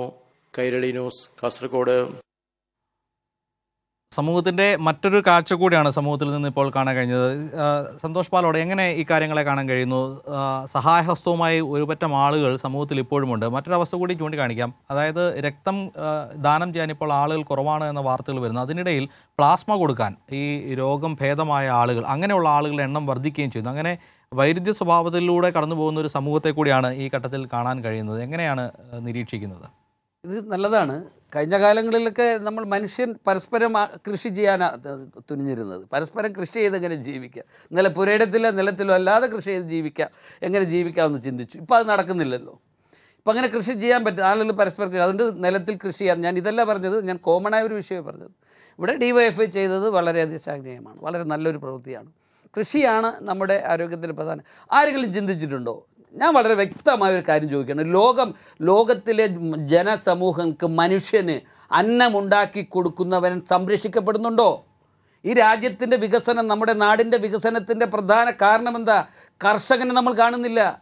അവൻ അമ്പത് വയസ്സും അമ്പത്തഞ്ച് വയസ്സും അറുപത് വയസ്സും വരെ കൃഷി ചെയ്ത് നമുക്ക് നല്ല ഭക്ഷണം തന്ന് നമ്മൾ ആരോഗ്യവാനാവും അവന് കൃഷിയിൽ നിന്ന് ലാഭം ഉണ്ടാകില്ല. കുട്ടികൾക്ക് വിദ്യാഭ്യാസം ചെയ്യാൻ കഴിയില്ല. അവൻ ഒരു പരിധി വരുമ്പോൾ നാശത്തിലേക്ക് പോവും. അവനെ നമ്മൾ സംരക്ഷിക്കുന്നുണ്ടോ? ഇവിടെ അടിസ്ഥാനപരമായി കർഷകരെ സംരക്ഷിക്കണം കാർഷിക മേഖല രക്ഷപ്പെടണം. എല്ലാ കാർഷിക വിഭവങ്ങളും ഉണ്ടാക്കാൻ കഴിയുന്ന ലോകത്തിലെ ഏറ്റവും പ്രധാനപ്പെട്ട ഒരു രാജ്യമാണ് ഇന്ത്യ.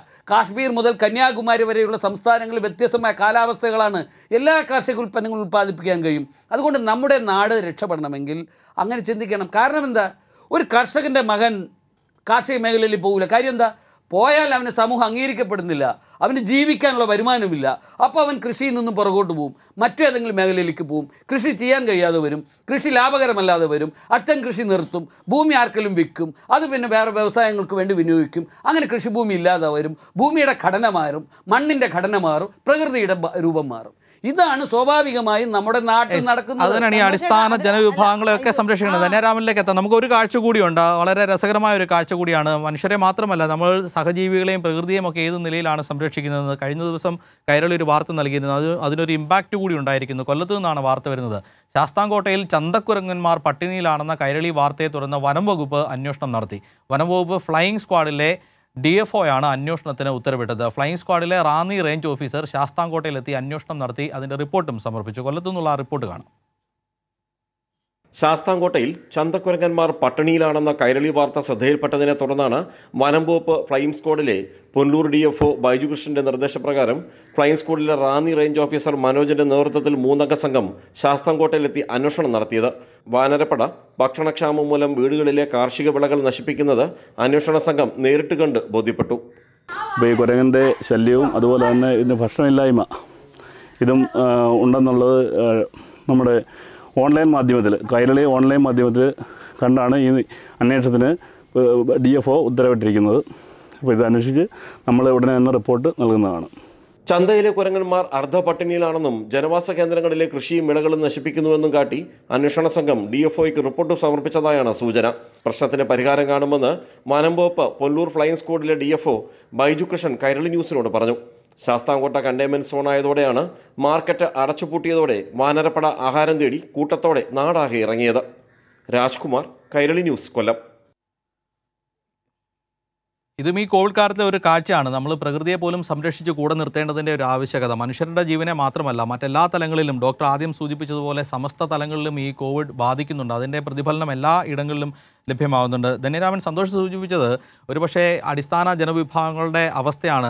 കാർഷിക രംഗത്ത് സർക്കാർ ശ്രദ്ധ കേന്ദ്രീകരിക്കേണ്ടതിന്റെ ആവശ്യകത. അത് ഏറ്റവും അധികം നൽകുന്നുമുണ്ട്. പക്ഷേ ഒരു ഘട്ടത്തിൽ പോലും അവരെ എത്രത്തോളം തൃപ്തിയിലേക്ക് എത്തിക്കാൻ കഴിയുന്നു എന്നുള്ളത് കൂടുതൽ ചർച്ചകൾക്ക് കൂടി വിധേയമാവേണ്ടതാണ്. അവിടെ ഈ കോവിഡ് കാലത്ത് സർക്കാർ ഈ അടിസ്ഥാന ജനവിഭാഗങ്ങൾക്ക് വേണ്ടി പ്രത്യേകിച്ച് ആദിവാസി മേഖലകൾ ഉൾപ്പെടെയുള്ള മേഖലകളിൽ സർക്കാർ എന്തെല്ലാം നടപടികളാണ് സ്വീകരിച്ചിട്ടുള്ളത്?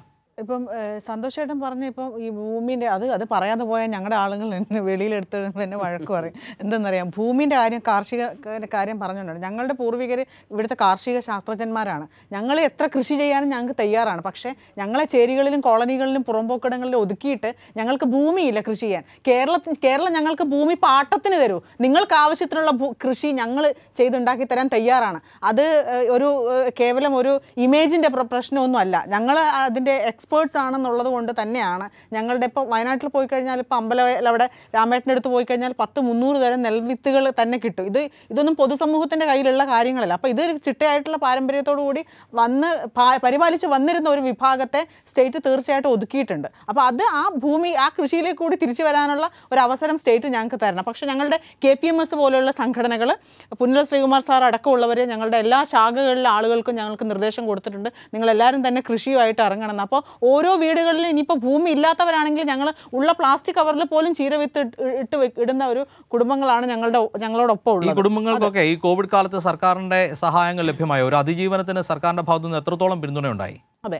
നമുക്കിപ്പം സാമ്പത്തികം പൈസ നമുക്ക് കയ്യിലില്ല എന്നുള്ളത്. ഇപ്പം നമ്മളെല്ലാം ഞാനൊക്കെ വളരെ അങ്ങനെയുള്ള ആൾ തന്നെയാണ്. മാർച്ച് ആയപ്പോൾ തന്നെ കൺസ്ട്രക്ഷൻ സൈറ്റൊക്കെ പൂട്ടി ഇനിയിപ്പോൾ ഈ അടുത്ത കാലത്തൊന്നും പണിയൊന്നും തുടങ്ങാൻ പറ്റില്ല അതൊക്കെ എല്ലാ എന്നെ തന്നെ ആയിരിക്കും എല്ലാ മനുഷ്യന്മാരും തന്നെയാണ് ഞാനും വിശ്വസിക്കുന്നത്. അപ്പോൾ ഈ സ്റ്റേറ്റിന്റേതായിട്ടുള്ള എല്ലാ കിറ്റുകൾ അല്ലെങ്കിൽ മറ്റ് പിന്നെ ആശുപത്രി പോകണമെങ്കിൽ ആ സപ്പോർട്ട് അല്ലെങ്കിൽ ട്രീറ്റ്മെന്റിന് വേണമെങ്കിൽ അത്തരത്തിലുള്ള സപ്പോർട്ട് ഇത്തരത്തിലുള്ളതെല്ലാം തന്നെ കിട്ടിയിട്ടുണ്ട്. അപ്പോൾ നമ്മളിപ്പോൾ പറയുമ്പോൾ ഏറ്റവും ആദ്യം അട്ടപ്പാടിയെക്കുറിച്ചൊക്കെയാണല്ലോ നമ്മൾ പറയാറ്. പക്ഷേ അട്ടപ്പാടിയിൽ നിന്നൊക്കെ ഓൺലൈൻ പഠനത്തിനോ അല്ലെങ്കിൽ അവിടുത്തെ ഫുഡ് സപ്പോർട്ടിനോ ഒന്നും ഒരു കുറവും വന്നിട്ടില്ല. അവർക്കൊക്കെ ആവശ്യമുള്ളതെല്ലാം തന്നെ ഭക്ഷണമായിട്ടും മെറ്റീരിയൽസ് ആയിട്ടും ഇനി പോലീസ് ഡിപ്പാർട്ട്മെന്റ് ആയാലും ട്രൈബൽ ഡിപ്പാർട്ട്മെന്റ് ആയാലും സാമൂഹ്യനീതി വകുപ്പായാലും ഇതെല്ലാം കോർഡിനേറ്റ് ചെയ്ത് അവിടെ ഊരുകളിലേക്ക് തന്നെ എത്തിച്ചിട്ടുണ്ട് എന്നുള്ളതാണ് എനിക്ക് മനസ്സിലാക്കാൻ പറ്റിയത്. പിന്നെ എവിടെയെങ്കിലും എന്തെങ്കിലും കുറവുണ്ടെങ്കിൽ നമ്മൾ ഈ പറഞ്ഞ പോലെ തൊട്ടടുത്ത പോലീസ് സ്റ്റേഷനിൽ നമ്മളെ വിളിച്ച് പറയുകയാണെങ്കിൽ അവിടത്തേക്കൊക്കെ പിന്നെ അത്യാവശ്യ സർവീസുകളെല്ലാം തന്നെ അവർ ചെയ്തു കൊടുത്തിട്ടുണ്ട്. പോലീസ് സ്റ്റേഷനായാലും അതുപോലെ തന്നെ ഫയർഫോഴ്സ് ആയാലും മരുന്നുകൾ. ഇപ്പം ഇല്ലാത്ത മരുന്നുകൾ ഇപ്പം സ്ഥിരം മരുന്ന് ഉപയോഗിക്കുന്നവരുണ്ട്. ഇപ്പം അപസ്മാര രോഗികളുണ്ട് അല്ലെങ്കിൽ ഹാർട്ട് പേഷ്യൻസ് ഉണ്ട്. അപ്പം ഞങ്ങൾ ഞങ്ങളുടെ ആളുകൾക്ക് എവിടെയെങ്കിലും മരുന്നിന് കുറവുണ്ടെന്ന് പറഞ്ഞാൽ പോലും അത് അതൊക്കെ ഒരു ഭയങ്കര ഒരു സേവനമാണ് കേട്ടോ ഞങ്ങൾക്ക് ഇത്തവണ കിട്ടിയിട്ടുള്ള ഫയർഫോഴ്സിന്റെ ആളുകൾ ഞങ്ങൾക്ക് ആ മരുന്ന് കൃത്യമായിട്ട് എത്തിച്ച് തന്നിട്ടുണ്ട്. ഇപ്പോൾ ഇതിൽ ഞങ്ങൾക്ക് വിഷമം ഉണ്ടായിട്ടുള്ള ഒന്ന് രണ്ട് കാര്യങ്ങളെന്ന് പറഞ്ഞു കഴിഞ്ഞാൽ പിന്നെ അട്ടപ്പാടിയിൽ ക്വാറന്റൈനിൽ ആയിപ്പോയിട്ടുള്ള ഒരാൾ ആശുപത്രിയിൽ പോകുന്ന മധ്യേ മരിച്ചു മരിച്ചുപോയി. പക്ഷേ അദ്ദേഹത്തിന് കോവിഡ് പോസിറ്റീവ് ആണെന്ന് എല്ലാവരും പറഞ്ഞു. പക്ഷേ ഒരിക്കലും കോവിഡ് പോസിറ്റീവ് ആയിരുന്നില്ല. ഒരു കല്യാണത്തിന് പോയിട്ട് അവർ കോയമ്പത്തൂർ അവർ അതിർത്തിയാണല്ലോ. അത്തരം ചില വ്യാജ വാർത്തകൾ പൊതുസമൂഹത്തിൽ നിന്ന് ഇങ്ങോട്ടേക്ക് വന്നിട്ടുള്ളതായതുകൊണ്ട് ഞങ്ങൾക്കൊക്കെ സ്വസ്ഥതയോടെ ഇരിക്കുന്നു. അല്ലാതെ ഇപ്പൊ ഞങ്ങളുടെ ഇടയിൽ നിന്ന് എങ്ങാനും ഒരു കുരങ്ങുവനിയോ അല്ലെങ്കിൽ മറ്റെന്തെങ്കിലും ഒരു ഇത്തരത്തിലൊരു സാധനം വെളിയിലോട്ട് പോയിരുന്നെങ്കിൽ ആളുകൾ എന്നേ ഞങ്ങളൊക്കെ തീ വെച്ച് കൊന്നേനെ. അങ്ങനത്തെ ഒരു മാനസികമാണ്. ഇതും ഈ. കോവിഡ് വന്നതിനെ പറ്റിയുള്ള അല്ല ജോണി ചെറിയൊരു എന്തെന്നറിയാ? ഒരു സമൂഹത്തിന്റെ ചെറിയ ഒരു അംശം ആളുകൾ ഒരു സാഡിസ്റ്റ് മനോഭാവം ഉണ്ട്. എന്തെന്നറിയാ? വെറുതെ ന്യൂസുകൾ ഇറക്കി ജനങ്ങളെ ഭയപ്പെട്ടിട്ട് ജനങ്ങൾ ഭയപ്പെടുന്നത് കണ്ട് ആസ്വദിക്കുന്ന ഒരു മാനസിക അത്തരം കാര്യങ്ങളിലേക്ക് എത്താം. ഡോക്ടർ ഒരു അല്പസമയം കൂടി ഞങ്ങൾക്കൊപ്പം തുടരുക. അഞ്ചു മണി വരെയാണ് പറഞ്ഞതെങ്കിലും ഒരു ഇടവേള അനിവാര്യമാണ്. ഡോക്ടറിൽ നിന്ന് വിലപ്പെട്ട നിർദ്ദേശങ്ങൾ ഇനിയും ലഭ്യമാകാനുണ്ട്. ഈ മഹാമാരിയുടെ മനഃശാസ്ത്രം അത് ആരോഗ്യ മേഖലയിൽ രാഷ്ട്രീയ മേഖലയിലൊക്കെ ഉൾപ്പെടുന്നത് ഏത് നിലയിലാണ് ഒപ്പം തന്നെ അവബോധം ഏത് നിലയിലേക്ക് അതിന്റെ ചർച്ചകൾ ഏത് ദിശയിലാകും നടക്കേണ്ടത് എന്നതുകൂടി അറിയേണ്ടതുണ്ട്. ഒരു അല്പം നിമിഷം കൂടി ഞങ്ങളോട് സഹകരിക്കുക. ഒരു ഇടവേളയ്ക്ക് ശേഷം വളരെ വേഗം മടങ്ങിയെത്താം. വാർത്തയ്ക്കപ്പുറം തുടരുകയാണ്. ഡോക്ടർ ജയപ്രകാശ് നമുക്കുമുണ്ട് ഡോക്ടർ ഈ മഹാമാരിയുടെ ഒരു മനോ മനഃശാസ്ത്രം അത് പലതരത്തിൽ കാണുന്നുണ്ട്. അത് രാഷ്ട്രീയ മേഖലയിലാണെങ്കിൽ കാണുന്നുണ്ട്. ഇപ്പോൾ നമ്മൾ സമൂഹത്തിന്റെ മറ്റ് ചില വസ്തുതകൾ കൂടി പറഞ്ഞു. വ്യാജ വാർത്തകൾ ഉൾപ്പെടെ പ്രചരിക്കുന്ന സാഹചര്യങ്ങളുണ്ട്. ആരോഗ്യ മേഖലയിൽ അത് ആരോഗ്യ പ്രവർത്തകർ ഉൾപ്പെടെ നിരവധി വെല്ലുവിളികൾ നേരിടുന്ന ഘട്ടത്തിൽ അവരുടെ ഒരു മാനസികാവസ്ഥ കൂടി നമ്മൾ പരിഗണിക്കേണ്ടതുണ്ട്. അങ്ങനെ വിവിധ മേഖലകൾ വലിയ വെല്ലുവിളികൾ കൂടി കടന്നു പോകുമ്പോൾ ഇവിടെയൊക്കെ പുതിയൊരു മനോനിലയും മനോഭാവവും ഒക്കെ ഉണ്ടാകുന്ന ഘട്ടമുണ്ട്. ഡോക്ടർ സൂചിപ്പിച്ചു ഒരു അവബോധം ഉണ്ടാകണമെന്നാണ് പറഞ്ഞത്. പലതരത്തിലുള്ള ആളുകളുണ്ട്. സമൂഹത്തിൽ ഉന്നത നിലവാരത്തിൽ ജീവിക്കുന്ന ആളുകൾ മുതൽ വിദ്യാഭ്യാസപരമായി അടക്കം മുൻനിരയിൽ നിൽക്കുന്നവർ മുതൽ ഏറ്റവും അടിസ്ഥാന ജനവിഭാഗങ്ങൾ വരെ. ഒരുപക്ഷെ ഒരുമിച്ച് താമസിക്കുന്ന ആളുകളിൽ അല്ലെങ്കിൽ ഈ കാര്യങ്ങളെ കൃത്യമായി വിശകലനം ചെയ്യാൻ അറിവില്ലാത്ത ആളുകൾ അടക്കമുണ്ട്. അവരെ പോലും ഈ കോവിഡ് ഭീഷണിപ്പെടുത്തുന്നുണ്ട് എന്നിടത്ത്. ഏത് നിലയിലാകണം? ഇനി ഇത്തരം അവബോധ പ്രവർത്തനങ്ങളൊക്കെ നമ്മൾ കൂടുതലായി മുന്നോട്ട് കൊണ്ടുപോകേണ്ടത് അതിന്റെ ഒരു ദിശ ഏത് നിലയിലായിരിക്കണം? ഒപ്പം തന്നെ ആദ്യം സൂചിപ്പിച്ച പോലെ ഈ മാറി വരുന്ന രാഷ്ട്രീയക്കാരുടെ മനോനില മാധ്യമപ്രവർത്തകരുടെ മനോനില സമൂഹത്തിന്റെ ആകെയുള്ള ഒരവസ്ഥ ഡോക്ടർ. ഇത് ഞാൻ നേരത്തെ സൂചിപ്പിച്ച കണക്ക് പൊതുവിൽ എല്ലാ മേഖലയിലുള്ളവർ ഇപ്പൊ ആരോഗ്യ പ്രവർത്തകരെ സംബന്ധിച്ചാണെന്നുണ്ടെങ്കിൽ ആരോഗ്യ പ്രവർത്തകർ വലിയ വെല്ലുവിളി നേരിടുന്നുണ്ട്. ആരോഗ്യ പ്രവർത്തകരും മനുഷ്യരാണ്. പോലീസുകാരും എല്ലാവരും മനുഷ്യരാണ്. ആരോഗ്യ പ്രവർത്തകർ പ്രത്യേകിച്ച് രോഗികളുമായി നേരിട്ട് ബന്ധപ്പെടുന്ന സാഹചര്യം രോഗിയാണോന്ന് കോവിഡ് രോഗിയാണോന്ന് അറിയാതെ മറ്റിതര രോഗികളുമായി പരിചരിക്കുമ്പോഴത്തെ ഘട്ടത്തിൽ പെട്ടെന്ന് ചിലപ്പം കോവിഡ് ബാധ ഉണ്ടായി കൂട്ടമായിട്ട് ഡോക്ടർമാരും ആരോഗ്യ പ്രവർത്തകരും ഒരുമിച്ച് ക്വാറന്റൈനിൽ പോകേണ്ടി വരുന്ന സാഹചര്യം ഉണ്ടാവുന്നുണ്ട്. ആരോഗ്യ പ്രവർത്തകരിൽ തന്നെ അവർക്കും ജീവിതശൈലി രോഗങ്ങളുള്ളവരുണ്ട് വയസ്സായവരുണ്ട്. സ്വാഭാവികമായിട്ടും അവർക്കും ഇതിന് ഇതിന് ഈ രോഗം പിടിപെട്ട് കഴിഞ്ഞാൽ ഉണ്ടാകാവുന്ന ഭവിഷ്യത്തുകളെ കുറിച്ചിട്ടുള്ള വെല്ലുവിളി നിലനിൽക്കുന്നുണ്ട് പിന്നെ ഇത് ഞാൻ നേരത്തെ സൂചിപ്പിച്ചത് നമ്മൾ ഇത്തരം പ്രതിസന്ധികളെ നമ്മൾ നേരിടേണ്ടി വരും. ആ പ്രതിസന്ധികളെ നേരിടുന്നതിന് കഴിയുന്ന രീതിയിലുള്ള പൊതുവായ അവബോധം സൃഷ്ടിക്കുന്നതിന് മാധ്യമങ്ങളും വലിയ പങ്ക് വഹിക്കണമെന്നുള്ളതാണ് എനിക്ക് പറയാനുള്ളത്. ഇപ്പൊ നമ്മളിപ്പോ ഇപ്പൊ നമ്മൾ പൊതുവിൽ മീഡിയയുടെ ടൈം ഒന്ന് കാൽക്കുലേറ്റ് ചെയ്ത് നോക്കിയാൽ ഓരോരോ മേഖലയ്ക്ക് വേണ്ടി എടുത്തു വെക്കുന്ന ടൈം എങ്ങനെയുണ്ടെന്ന് നോക്കിക്കഴിഞ്ഞാൽ പെട്ടെന്നൊരു സ്വർണം പടത്തിന്റെ ഒരു വിഷയം വന്നു. അതിലൊരു രാഷ്ട്രീയ ഒരു രീതിയിലുള്ള ഒരു വ്യാഖ്യാനം വന്ന് ചർച്ച അങ്ങനെ അപ്പോഴത്തേക്ക് കോവിഡ് പിന്നോക്കം പോവുകയുണ്ടായി. അപ്പോൾ കോവിഡിന് വേണ്ടി മാറ്റിവെക്കുന്ന സമയം മീഡിയ കുറഞ്ഞു വന്ന ഘട്ടമുണ്ടായി അപ്പൊ എനിക്ക് പറയാനുള്ളത് കോവിഡിനെ കുറിച്ചിട്ടുള്ള ജാഗ്രത പുലർത്തുന്നതിൽ സാമൂഹ്യ അവബോധം സൃഷ്ടിക്കുന്നതിലും മാധ്യമങ്ങൾ ഒന്നാം ഘട്ടത്തിലും രണ്ടാം ഘട്ടത്തിലും വലിയ പങ്ക് വഹിച്ചിട്ടുണ്ട്. എല്ലാ മാധ്യമങ്ങളും. വളരെ നല്ല രീതിയിലുള്ള സുത്യർഹമായിട്ടുള്ള പങ്ക് മാധ്യമങ്ങൾ വഹിച്ചിട്ടുണ്ട്. അത് നമുക്ക് പ്രശംസനീയമാണ്. പക്ഷേ മൂന്നാം ഘട്ടത്തിൽ എത്തുമ്പോൾ നമ്മൾ തുല്യമായിട്ട് മറ്റു ചില പ്രശ്നങ്ങൾക്കും കൂടി പ്രാധാന്യം കൊടുത്തും കൊണ്ട് ഇതിന്റെ ഇതിന്റെ പ്രാധാന്യം കുറച്ചു പോകുന്ന ഒരു സാഹചര്യം ഉണ്ടാവുന്നുണ്ടോ എന്ന് പലപ്പോഴും ഞങ്ങൾ പിന്നെ ഭയപ്പെട്ടിട്ടുണ്ട്.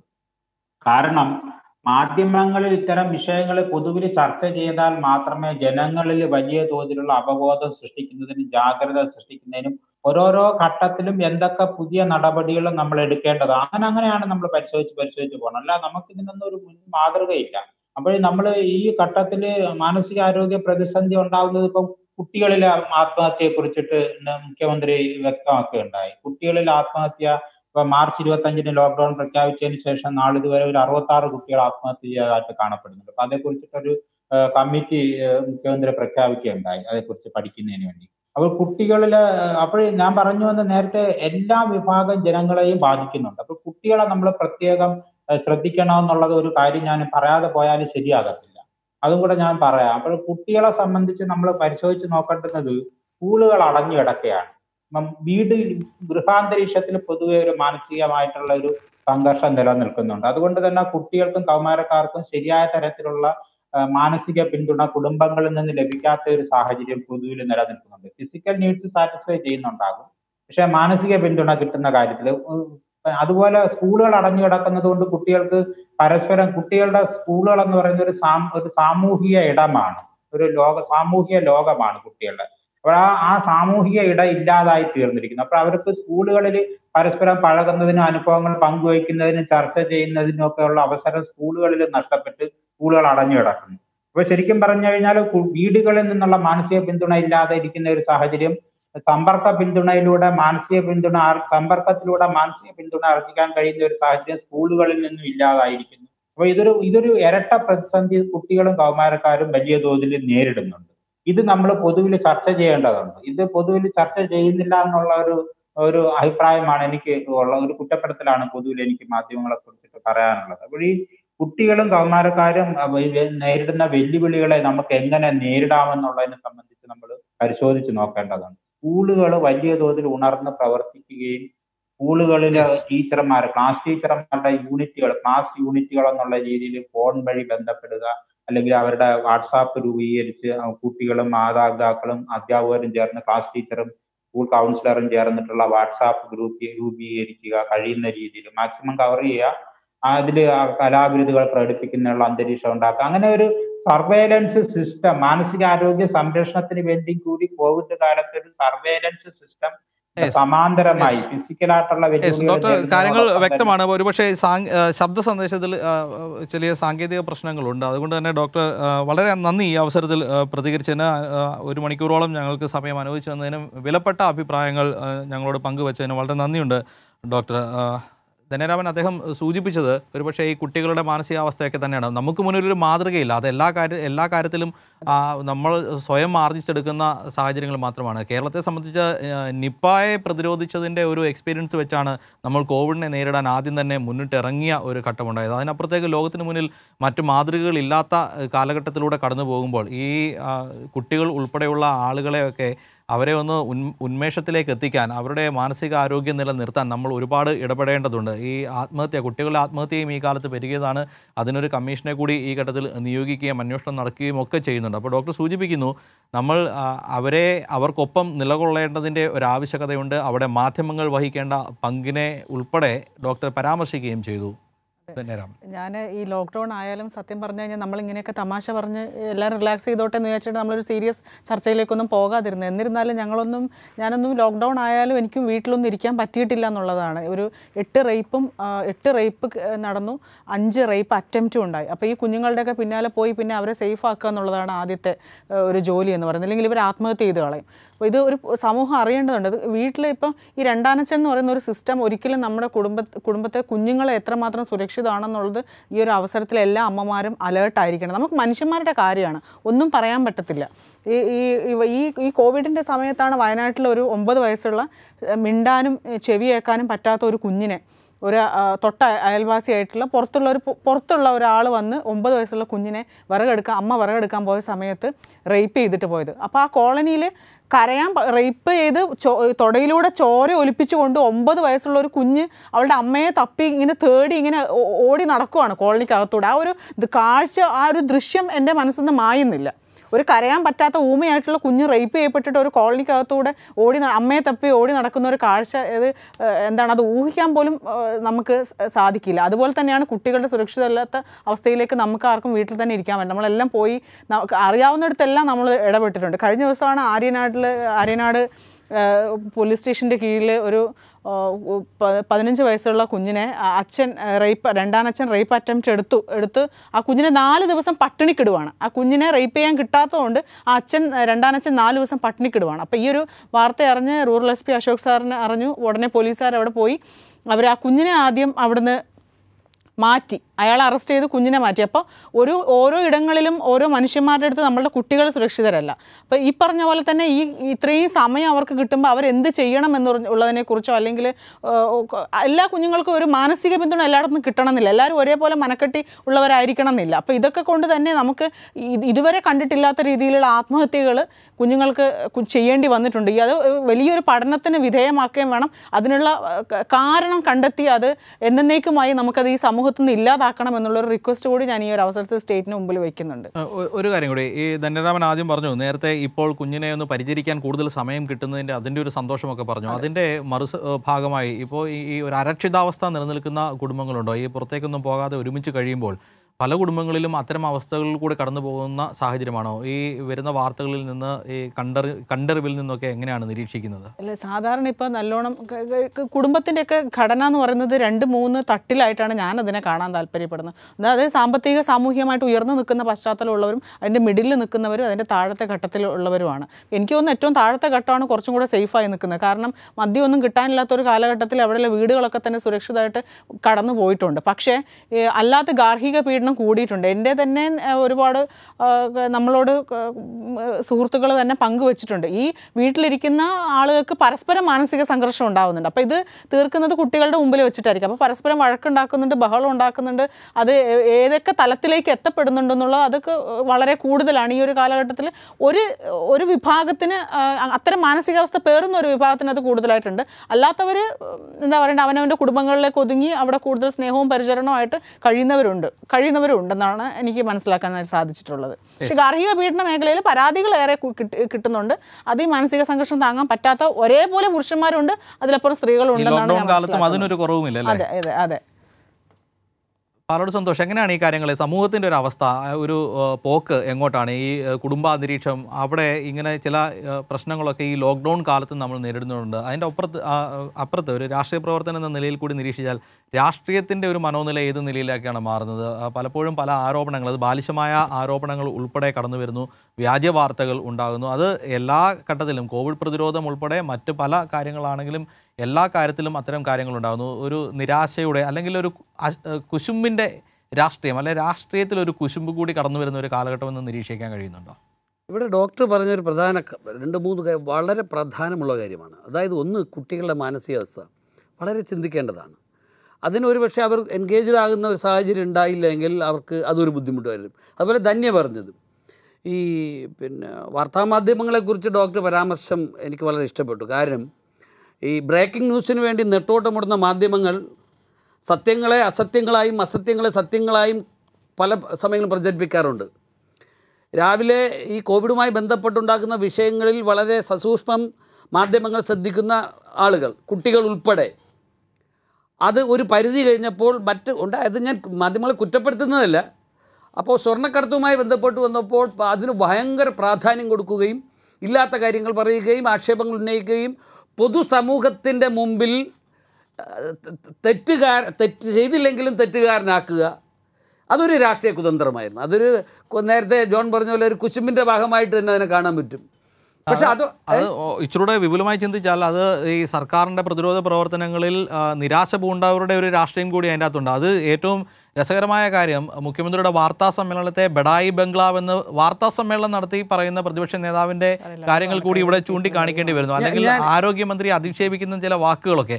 അത് ഒരു അതിന്റെ ഒരു രാഷ്ട്രീയമാണ് മനോനിലയാണ്. പൊളിറ്റിക്കലായിട്ടുള്ള അറ്റാക്കിനപ്പുറത്തേക്ക് അങ്ങനെയും ചിന്തിക്കേണ്ടി വരുന്ന ചില ഉണ്ട്? ഒരു എന്റെ ഒരു അനുഭവം പറയട്ടെ. ചാനലിന്റെ പേര് പറയുന്നില്ല. ഞാൻ ഒരു ചർച്ചയിൽ പങ്കെടുത്തപ്പോൾ ഞാൻ പറഞ്ഞു വൈകുന്നേരം ആറ് മണി മുതൽ മുഖ്യമന്ത്രിയുടെ പത്രസമ്മേളനം സസൂക്ഷ്മം കേൾക്കുകയും കുട്ടികൾ കുടുംബസമേതം വരുന്ന എല്ലാവരും കേൾക്കുകയും അത് കഴിഞ്ഞതിന് ശേഷം ദൈവവിശ്വാസമുള്ളവർ പ്രാർത്ഥിക്കുകയും വിളക്ക് കത്തിക്കുകയും ഒക്കെ ചെയ്യുന്നു എന്ന് പറഞ്ഞപ്പോൾ എന്നോട് ചോദിച്ചു പിണറായി വിജയൻ വീടിന്റെ ഐശ്വര്യം എന്ന് വെക്കട്ടെ എന്ന് ചോദിച്ചു. ഞാൻ പറഞ്ഞു അത് അവരാ ഓരോരുത്തരുടെ മാനസികാവസ്ഥയാണ്.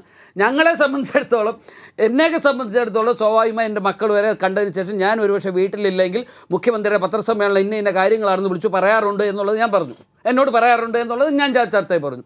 സ്വാഭാവികമായും അവിടെയാണ് ഞാൻ പറയുന്നത് എല്ലാത്തിനെയും നമ്മൾ രാഷ്ട്രീയവൽക്കരിക്കരുത്. ഇവിടെ നമ്മൾ കാണേണ്ടത് ഗവൺമെന്റിന്റെ ഭാഗത്ത് തെറ്റ് വന്നാൽ അത് കുറ്റപ്പെടുത്താം. പക്ഷേ എന്ത് പറ്റി ഇപ്പോൾ ഇവിടെ? നാട്ടിലൊരു പഴമൊഴിയുണ്ട് പുലി ഇറങ്ങുന്നേ പുലി ഇറങ്ങുന്നേ എന്ന് പറഞ്ഞിട്ട് മോഷണം നടത്തുന്നതിന് വേണ്ടിയിട്ട് ഇറങ്ങി തിരിച്ചവർ. ഒരു സുപ്രഭാതത്തിൽ പുലി ഇറങ്ങിയപ്പോൾ പുലി വന്നേ എന്ന് വിളിച്ചാൽ ആരും വിശ്വസിക്കത്തില്ല. അപ്പോൾ യാഥാർത്ഥ്യങ്ങളല്ലാത്ത കാര്യങ്ങൾ പ്രചരിപ്പിക്കുകയും അത് പിന്നെ മാധ്യമങ്ങളിലൂടെയൊക്കെ പ്രചരിപ്പിക്കുകയും ചെയ്താൽ സത്യം പറഞ്ഞാൽ ആരും വിശ്വസിക്കാത്ത സ്ഥിതി വരും. അതൊരു പ്രധാന ഘടകമാണ്. പിന്നെ ഇതിന്റെ ഇടയിൽ വിട്ടുപോകാതിരിക്കട്ടെ. നമ്മൾ കുരങ്ങുകളുടെ കാര്യം പറഞ്ഞു. ഞാൻ താമസിക്കുന്ന അമ്പലമുക്കിലാണ്.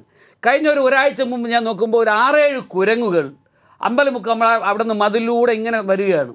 നമ്മളെന്നും കണ്ടിട്ട് ഒരു ഭയവുമില്ല സാധാരണ നമ്മൾ കുട്ടികൾക്ക് കുട്ടികളൊക്കെ ഇതിനെ കാണുമ്പോൾ എറിയാനും അതിനൊക്കെ പോകും പക്ഷേ ഇവരെന്താ ചെയ്യുക ഈ ജീവികൾ വരുമ്പോൾ ഞാൻ അവിടെ നിന്നുകൊണ്ട് പറയും ഇതിന് ആഹാരം കിട്ടാതെ വരണേന്ന് പറഞ്ഞപ്പോൾ ഇതിനെന്ത് കൊടുക്കാം? പഴം കിട്ടുമോ? അത് കൊടുക്ക എ- എ- ഇത് കൊടുക്കുവാൻ വേണ്ടിയിട്ട് കുട്ടികൾ തയ്യാറാകുന്നു. ഇത് സ്വാഭാവികമായി ഉണ്ടാകുന്ന ഒരു മാനസികാവസ്ഥയാണ്. അതുപോലെ തന്നെ എന്റെ വീടിന്റെ മുന്നിൽ കുറേ ചെടികളും അതും ഇതൊക്കെ വെച്ചിട്ടുണ്ട്.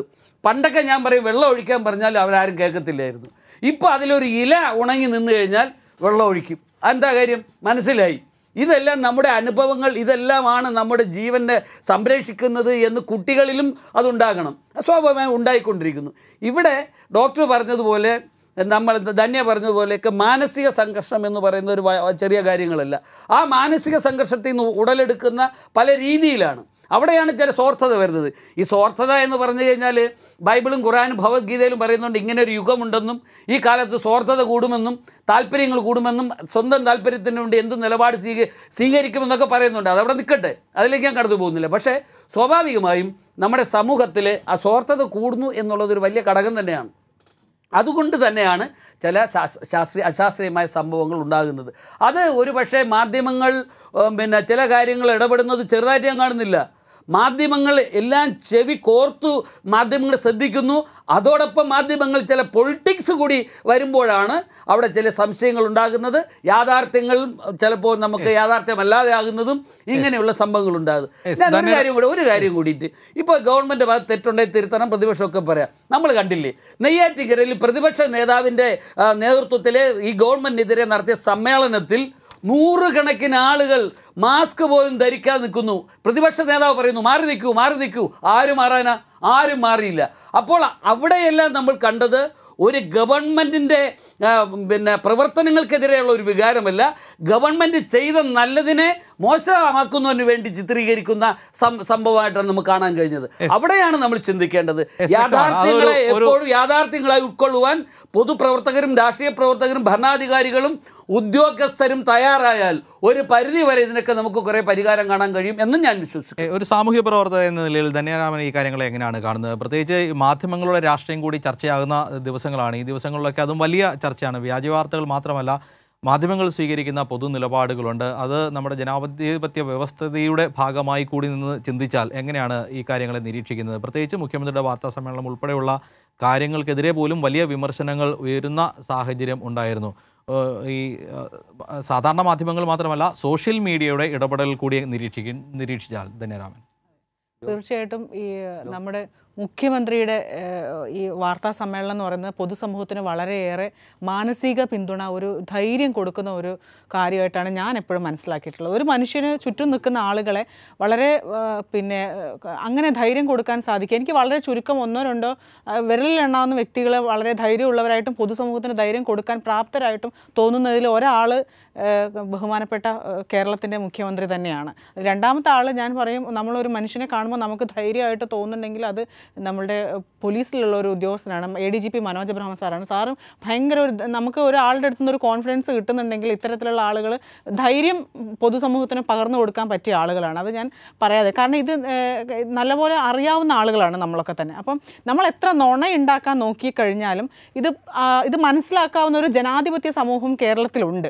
അപ്പോൾ എത്ര നമ്മൾ ഒരു ഒരു ഉള്ള ഒരു കാര്യത്തെ നമ്മൾ അതല്ല അതിങ്ങനെയാണെന്ന് പഴയ പണ്ടൊക്കെ നമുക്കൊരു നുണ ഉണ്ടാക്കി അത് വെക്കാനായിട്ട് എളുപ്പമാണ് ഇപ്പോൾ അതൊക്കെ അതിന് വലിയ ആയുസില്ലല്ലോ അതാണ് ഒന്നാമത്തെ കാര്യം. നമ്മളൊരു കാര്യം ഇപ്പോൾ ഉണ്ടാക്കാൻ നോക്കി കഴിഞ്ഞ് കഴിഞ്ഞാൽ അത് ഒരു മിനിറ്റിൽ അപ്പുറത്തേക്ക് ഇപ്പോൾ അതിനൊന്നും ദൈർഘ്യം ഇല്ല എന്നുള്ളത് നമുക്ക് മനസ്സിലാക്കാനായിട്ട് സാധിക്കും. അതിപ്പോൾ പൊളിറ്റിക്സ് വളരെ മാധ്യമങ്ങൾക്ക് വളരെ കൂടുതലായിട്ടുള്ള ഒരു ഒരു കാലഘട്ടം തന്നെയാണ്. അത് നമ്മളില്ല എന്ന് പറയുന്നില്ല. അപ്പം ഇപ്പം ഇവർ ഈ ഒരു ഒരു ദുർഘടമായിട്ടുള്ള ഒരു ഒരു സമയത്തൂടെയാണ് നമ്മൾ കടന്നു പോകുന്നതെങ്കിലും ഒരു വിഭാഗം എന്താണ് വിചാരിക്കുന്നത്? ഈ ഒരു വിഷയം വെച്ച് ഈ ഒരു മഹാമാരിയെ വെച്ചുകൊണ്ട് നമുക്ക് അടുത്ത ഭരണം എങ്ങനെ പിടിക്കാം എന്നുള്ളതിനെക്കുറിച്ച് ആലോചിക്കുന്നത് പോലും പൊതുസമൂഹത്തിന്റെ പൊതുസമൂഹത്തിനും അതേപോലെ ഇതിൽ തന്നെ പൊളിറ്റിക്സ് ഇല്ലാതെ നിഷ്പക്ഷരായി നിൽക്കുന്ന ഒരു വിഭാഗം ആളുകളുണ്ട്. അവരും ഇതൊക്കെ മനസ്സിലാക്കി തന്നെയാണ് മുമ്പോട്ടേക്ക് പോകുന്നത്. അപ്പോൾ അതുകൊണ്ട് തന്നെ ഇത്തരം നുണകൾക്ക് ദീർഘായുസില്ല യെസ് കാര്യങ്ങൾ വ്യക്തമാണ്. എന്തായാലും ഇപ്പോൾ ഈ ഘട്ടത്തിൽ ലഭിക്കുന്ന ഏറ്റവും പ്രധാനപ്പെട്ട വാർത്തകളിലൊന്ന് ഇന്ന് മുഖ്യമന്ത്രിയുടെ വാർത്താ സമ്മേളനം ഇല്ല എന്ന അറിയിപ്പാണ്.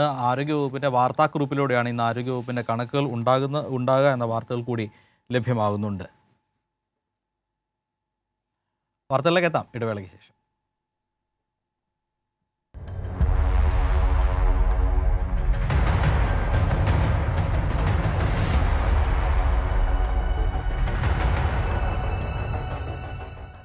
ഈ മഹാമാരി കാലത്ത് നമ്മൾ അനുഭവിക്കുന്ന കാര്യങ്ങൾ നമ്മൾ നേരിടുന്ന പ്രശ്നങ്ങൾ നമ്മളെ ബാധിക്കുന്ന കാര്യങ്ങൾ അങ്ങനെയുള്ള കാര്യങ്ങളൊക്കെയാണ് നമ്മളിപ്പോൾ അതിലേക്കൊക്കെയുള്ള ഒരു എത്തിനോട്ടമാണ് ഈ കഴിഞ്ഞ നിമിഷങ്ങളിൽ കടന്നുപോയത്. ധന്യരാമൻ ഇവിടെയാണ് നമ്മൾ ഡോക്ടർ സൂചിപ്പിച്ച അവബോധത്തെ പറ്റി ഏറ്റവും കൂടുതൽ അതിന്റെ പ്രാധാന്യം ഒരിക്കൽ കൂടി ഓർമ്മിപ്പിക്കേണ്ടി വരുന്നത്. പല തലങ്ങളിൽ ഈ വ്യാജ വാർത്തകൾ പോലെയുള്ള കാര്യങ്ങൾ വരുന്നു. സമൂഹത്തിന്റെ ആകെ മനോനില മറ്റൊരു തരത്തിലേക്ക് എത്തിപ്പോകുന്നു. പലതരത്തിലുള്ള ആളുകളാണ് നമ്മുടെ സമൂഹത്തിലുള്ളത്. ഈ അടിസ്ഥാന ജനവിഭാഗങ്ങൾക്കുൾപ്പെടെ ഒരു അവബോധം ഈ ഈ ഘട്ടത്തിൽ ഉണ്ടായിട്ടുണ്ടോ? ഈ എന്താണ് നമ്മൾ ഫേസ് ചെയ്യുന്ന അവസ്ഥ നമ്മുടെ മുന്നിൽ നിൽക്കുന്ന മഹാമാരിയെ പറ്റി ഒരു ചിന്ത അവർക്കെല്ലാം ഉണ്ടോ കാസർഗോഡ് ഭാഗത്ത് പോവുകയാണെങ്കിൽ അവിടെ രണ്ട് പല ഭാഷകളാണ്. അപ്പോൾ നമ്മളിപ്പോൾ ഒരു ഒരു കോവിഡിന്റെ പീരീഡാണ്.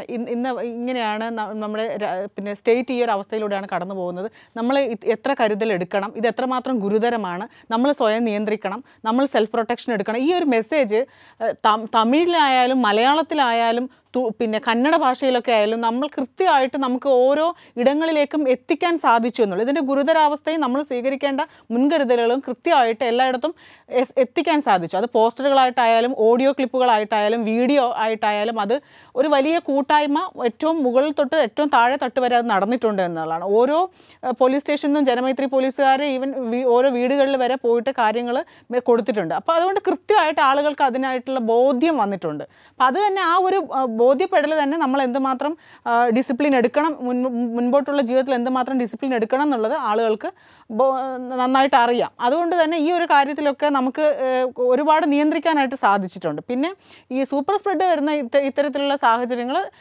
ചിലയിടങ്ങളിൽ നിന്നുള്ള എന്താണ് ആ, ശ്രദ്ധ അശ്രദ്ധ. അശ്രദ്ധ എന്ന് പറഞ്ഞു കഴിഞ്ഞാൽ ഈ പൊതുവെ മലയാളികളോടത്ത് പെട്ടെന്ന് നിങ്ങളൊരു ഡിസിപ്ലിൻ എടുക്കൂ എന്ന് പറഞ്ഞാൽ ഡിസിപ്ലിൻ എടുക്കാൻ പറ്റാത്ത ആളുകളുണ്ടല്ലോ. അവരാണ് ഇത്തരത്തിലുള്ള സൂപ്പർ സ്പ്രെഡിന് കാരണമാക്കിയിട്ടുള്ളത്. എസ് കാര്യങ്ങൾ വ്യക്തമാണ്. ധനരാമൻ തിരിച്ചെത്താം. ഇപ്പോൾ മുഖ്യമന്ത്രിയുടെ വാർത്താ സമ്മേളനമില്ല. കേന്ദ്ര കമ്മിറ്റി യോഗം നടക്കുന്നതിനാലാണ് ഇന്നത്തെ വാർത്താ സമ്മേളനം ഒഴിവാക്കി പകരം ആരോഗ്യ വകുപ്പിന്റെ വാർത്താക്കുറിപ്പ് നൽകുന്നതെന്നാണ് വാർത്തകൾ വരുന്നത്. ഷീജ കൂടി തിരുവനന്തപുരത്ത് നിന്ന് നമുക്കിപ്പം ടെലിഫോണിൽ ശരിയാണ് ഷീജ മുഖ്യമന്ത്രി ഇന്ന് മാധ്യമങ്ങളെ കാണില്ല. ആരോഗ്യ വകുപ്പിന്റെ വാർത്താക്കുറിപ്പാണ് പകരം ഉണ്ടാവുക. എന്താണ് ഇന്ന് വാർത്താ സമ്മേളനം ഇല്ലാത്തതിന് കാരണം? എന്തെല്ലാം കാര്യങ്ങളാണ് ഈ ഘട്ടത്തിൽ പങ്കുവെക്കാനുള്ളത്? ഷീജ.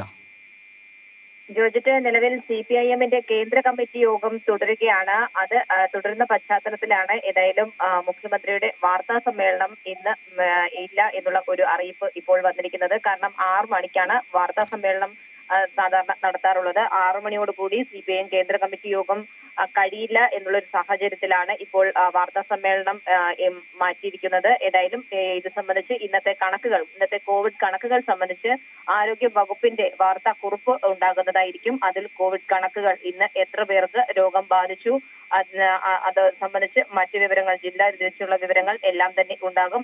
പക്ഷേ മുഖ്യമന്ത്രിയുടെ വാർത്താ സമ്മേളനം ഉണ്ടാവുകയില്ല.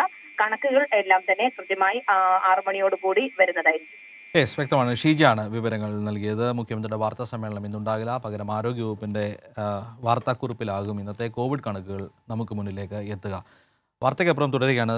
സന്തോഷ് പാലോട് ഈ ജാഗ്രത എല്ലാ മേഖലയിലുള്ള ആളുകൾക്കും ഉണ്ട് എന്ന് പറയുമ്പോൾ പോലും മുഖ്യമന്ത്രിയുടെ വാർത്താ സമ്മേളനത്തിലെ കണക്കുകൾ നമ്മൾ പ്രതിദിനം അവലോകനം ചെയ്യുമ്പോൾ ഇന്ന് എത്ര പേർക്ക് രോഗം ബാധിച്ചു എത്ര പേർക്ക് സമ്പർക്കത്തിലൂടെ ഉണ്ടായി തുടങ്ങിയ കണക്കുകളൊക്കെയാണ് പറയുന്നത്. അതിന്റെ അവസാന ഭാഗത്ത് അദ്ദേഹം മറ്റു ചില കണക്കുകൾ കൂടി പറയുന്നുണ്ട്. അതൊരു പക്ഷേ നിസ്സംഗമായി അല്ലെങ്കിൽ ലാഘവത്തോടെ നമ്മൾ തള്ളിക്കളയുകയാണ്. അയ്യായിരം പേർക്ക് മാസ്ക് ധരിക്കാത്തതിനെതിരെ കേസെടുത്തു എന്ന കണക്കുകൾ കൂടി വരുന്നുണ്ട്. അല്ലെങ്കിൽ ക്വാറന്റൈൻ ലംഘിച്ചവരുടെ എണ്ണം അടക്കം വരുന്നുണ്ട്. അവബോധം പലതരത്തിൽ നടത്തുന്നുണ്ടെങ്കിലും ഇപ്പോഴും അത് പാലിക്കാത്ത നിരവധി ആളുകൾ ഉണ്ട് എന്ന് തന്നെയല്ലേ? തീർച്ചയായിട്ടും. ഏറ്റവും പ്രധാനം നോക്കിക്കോളണം. നാളെ ശ്രദ്ധിച്ചോളണം. ധന്യ നാളെ ഇന്ന് മുഖ്യമന്ത്രി പത്രസമ്മേളനം നടത്താത്തതിന്റെ ആക്ഷേപമായിരിക്കും നാളെ പല രാഷ്ട്രീയക്കാരും പറയാൻ പോകുന്നത്. ഇല്ല അങ്ങനെയല്ല. ഇന്ന് അതിന്റെ വിശദീകരണം അതെ ഞാൻ പറഞ്ഞത് അതെ ഞാൻ പറഞ്ഞു അതെ ഞാൻ പറഞ്ഞത് എന്തുകൊണ്ട് നടന്നില്ല അല്ലെങ്കിൽ നട പത്രസമ്മേളനം ഇതായിരിക്കും നാളെ ആക്ഷേപം അവിടെയാണ് ഞാൻ പറഞ്ഞത്. ഞാൻ നേരത്തെ സൂചിപ്പിച്ചത് രാഷ്ട്രീയം നമ്മൾ ഇതിന് കാണുന്നതാണ്.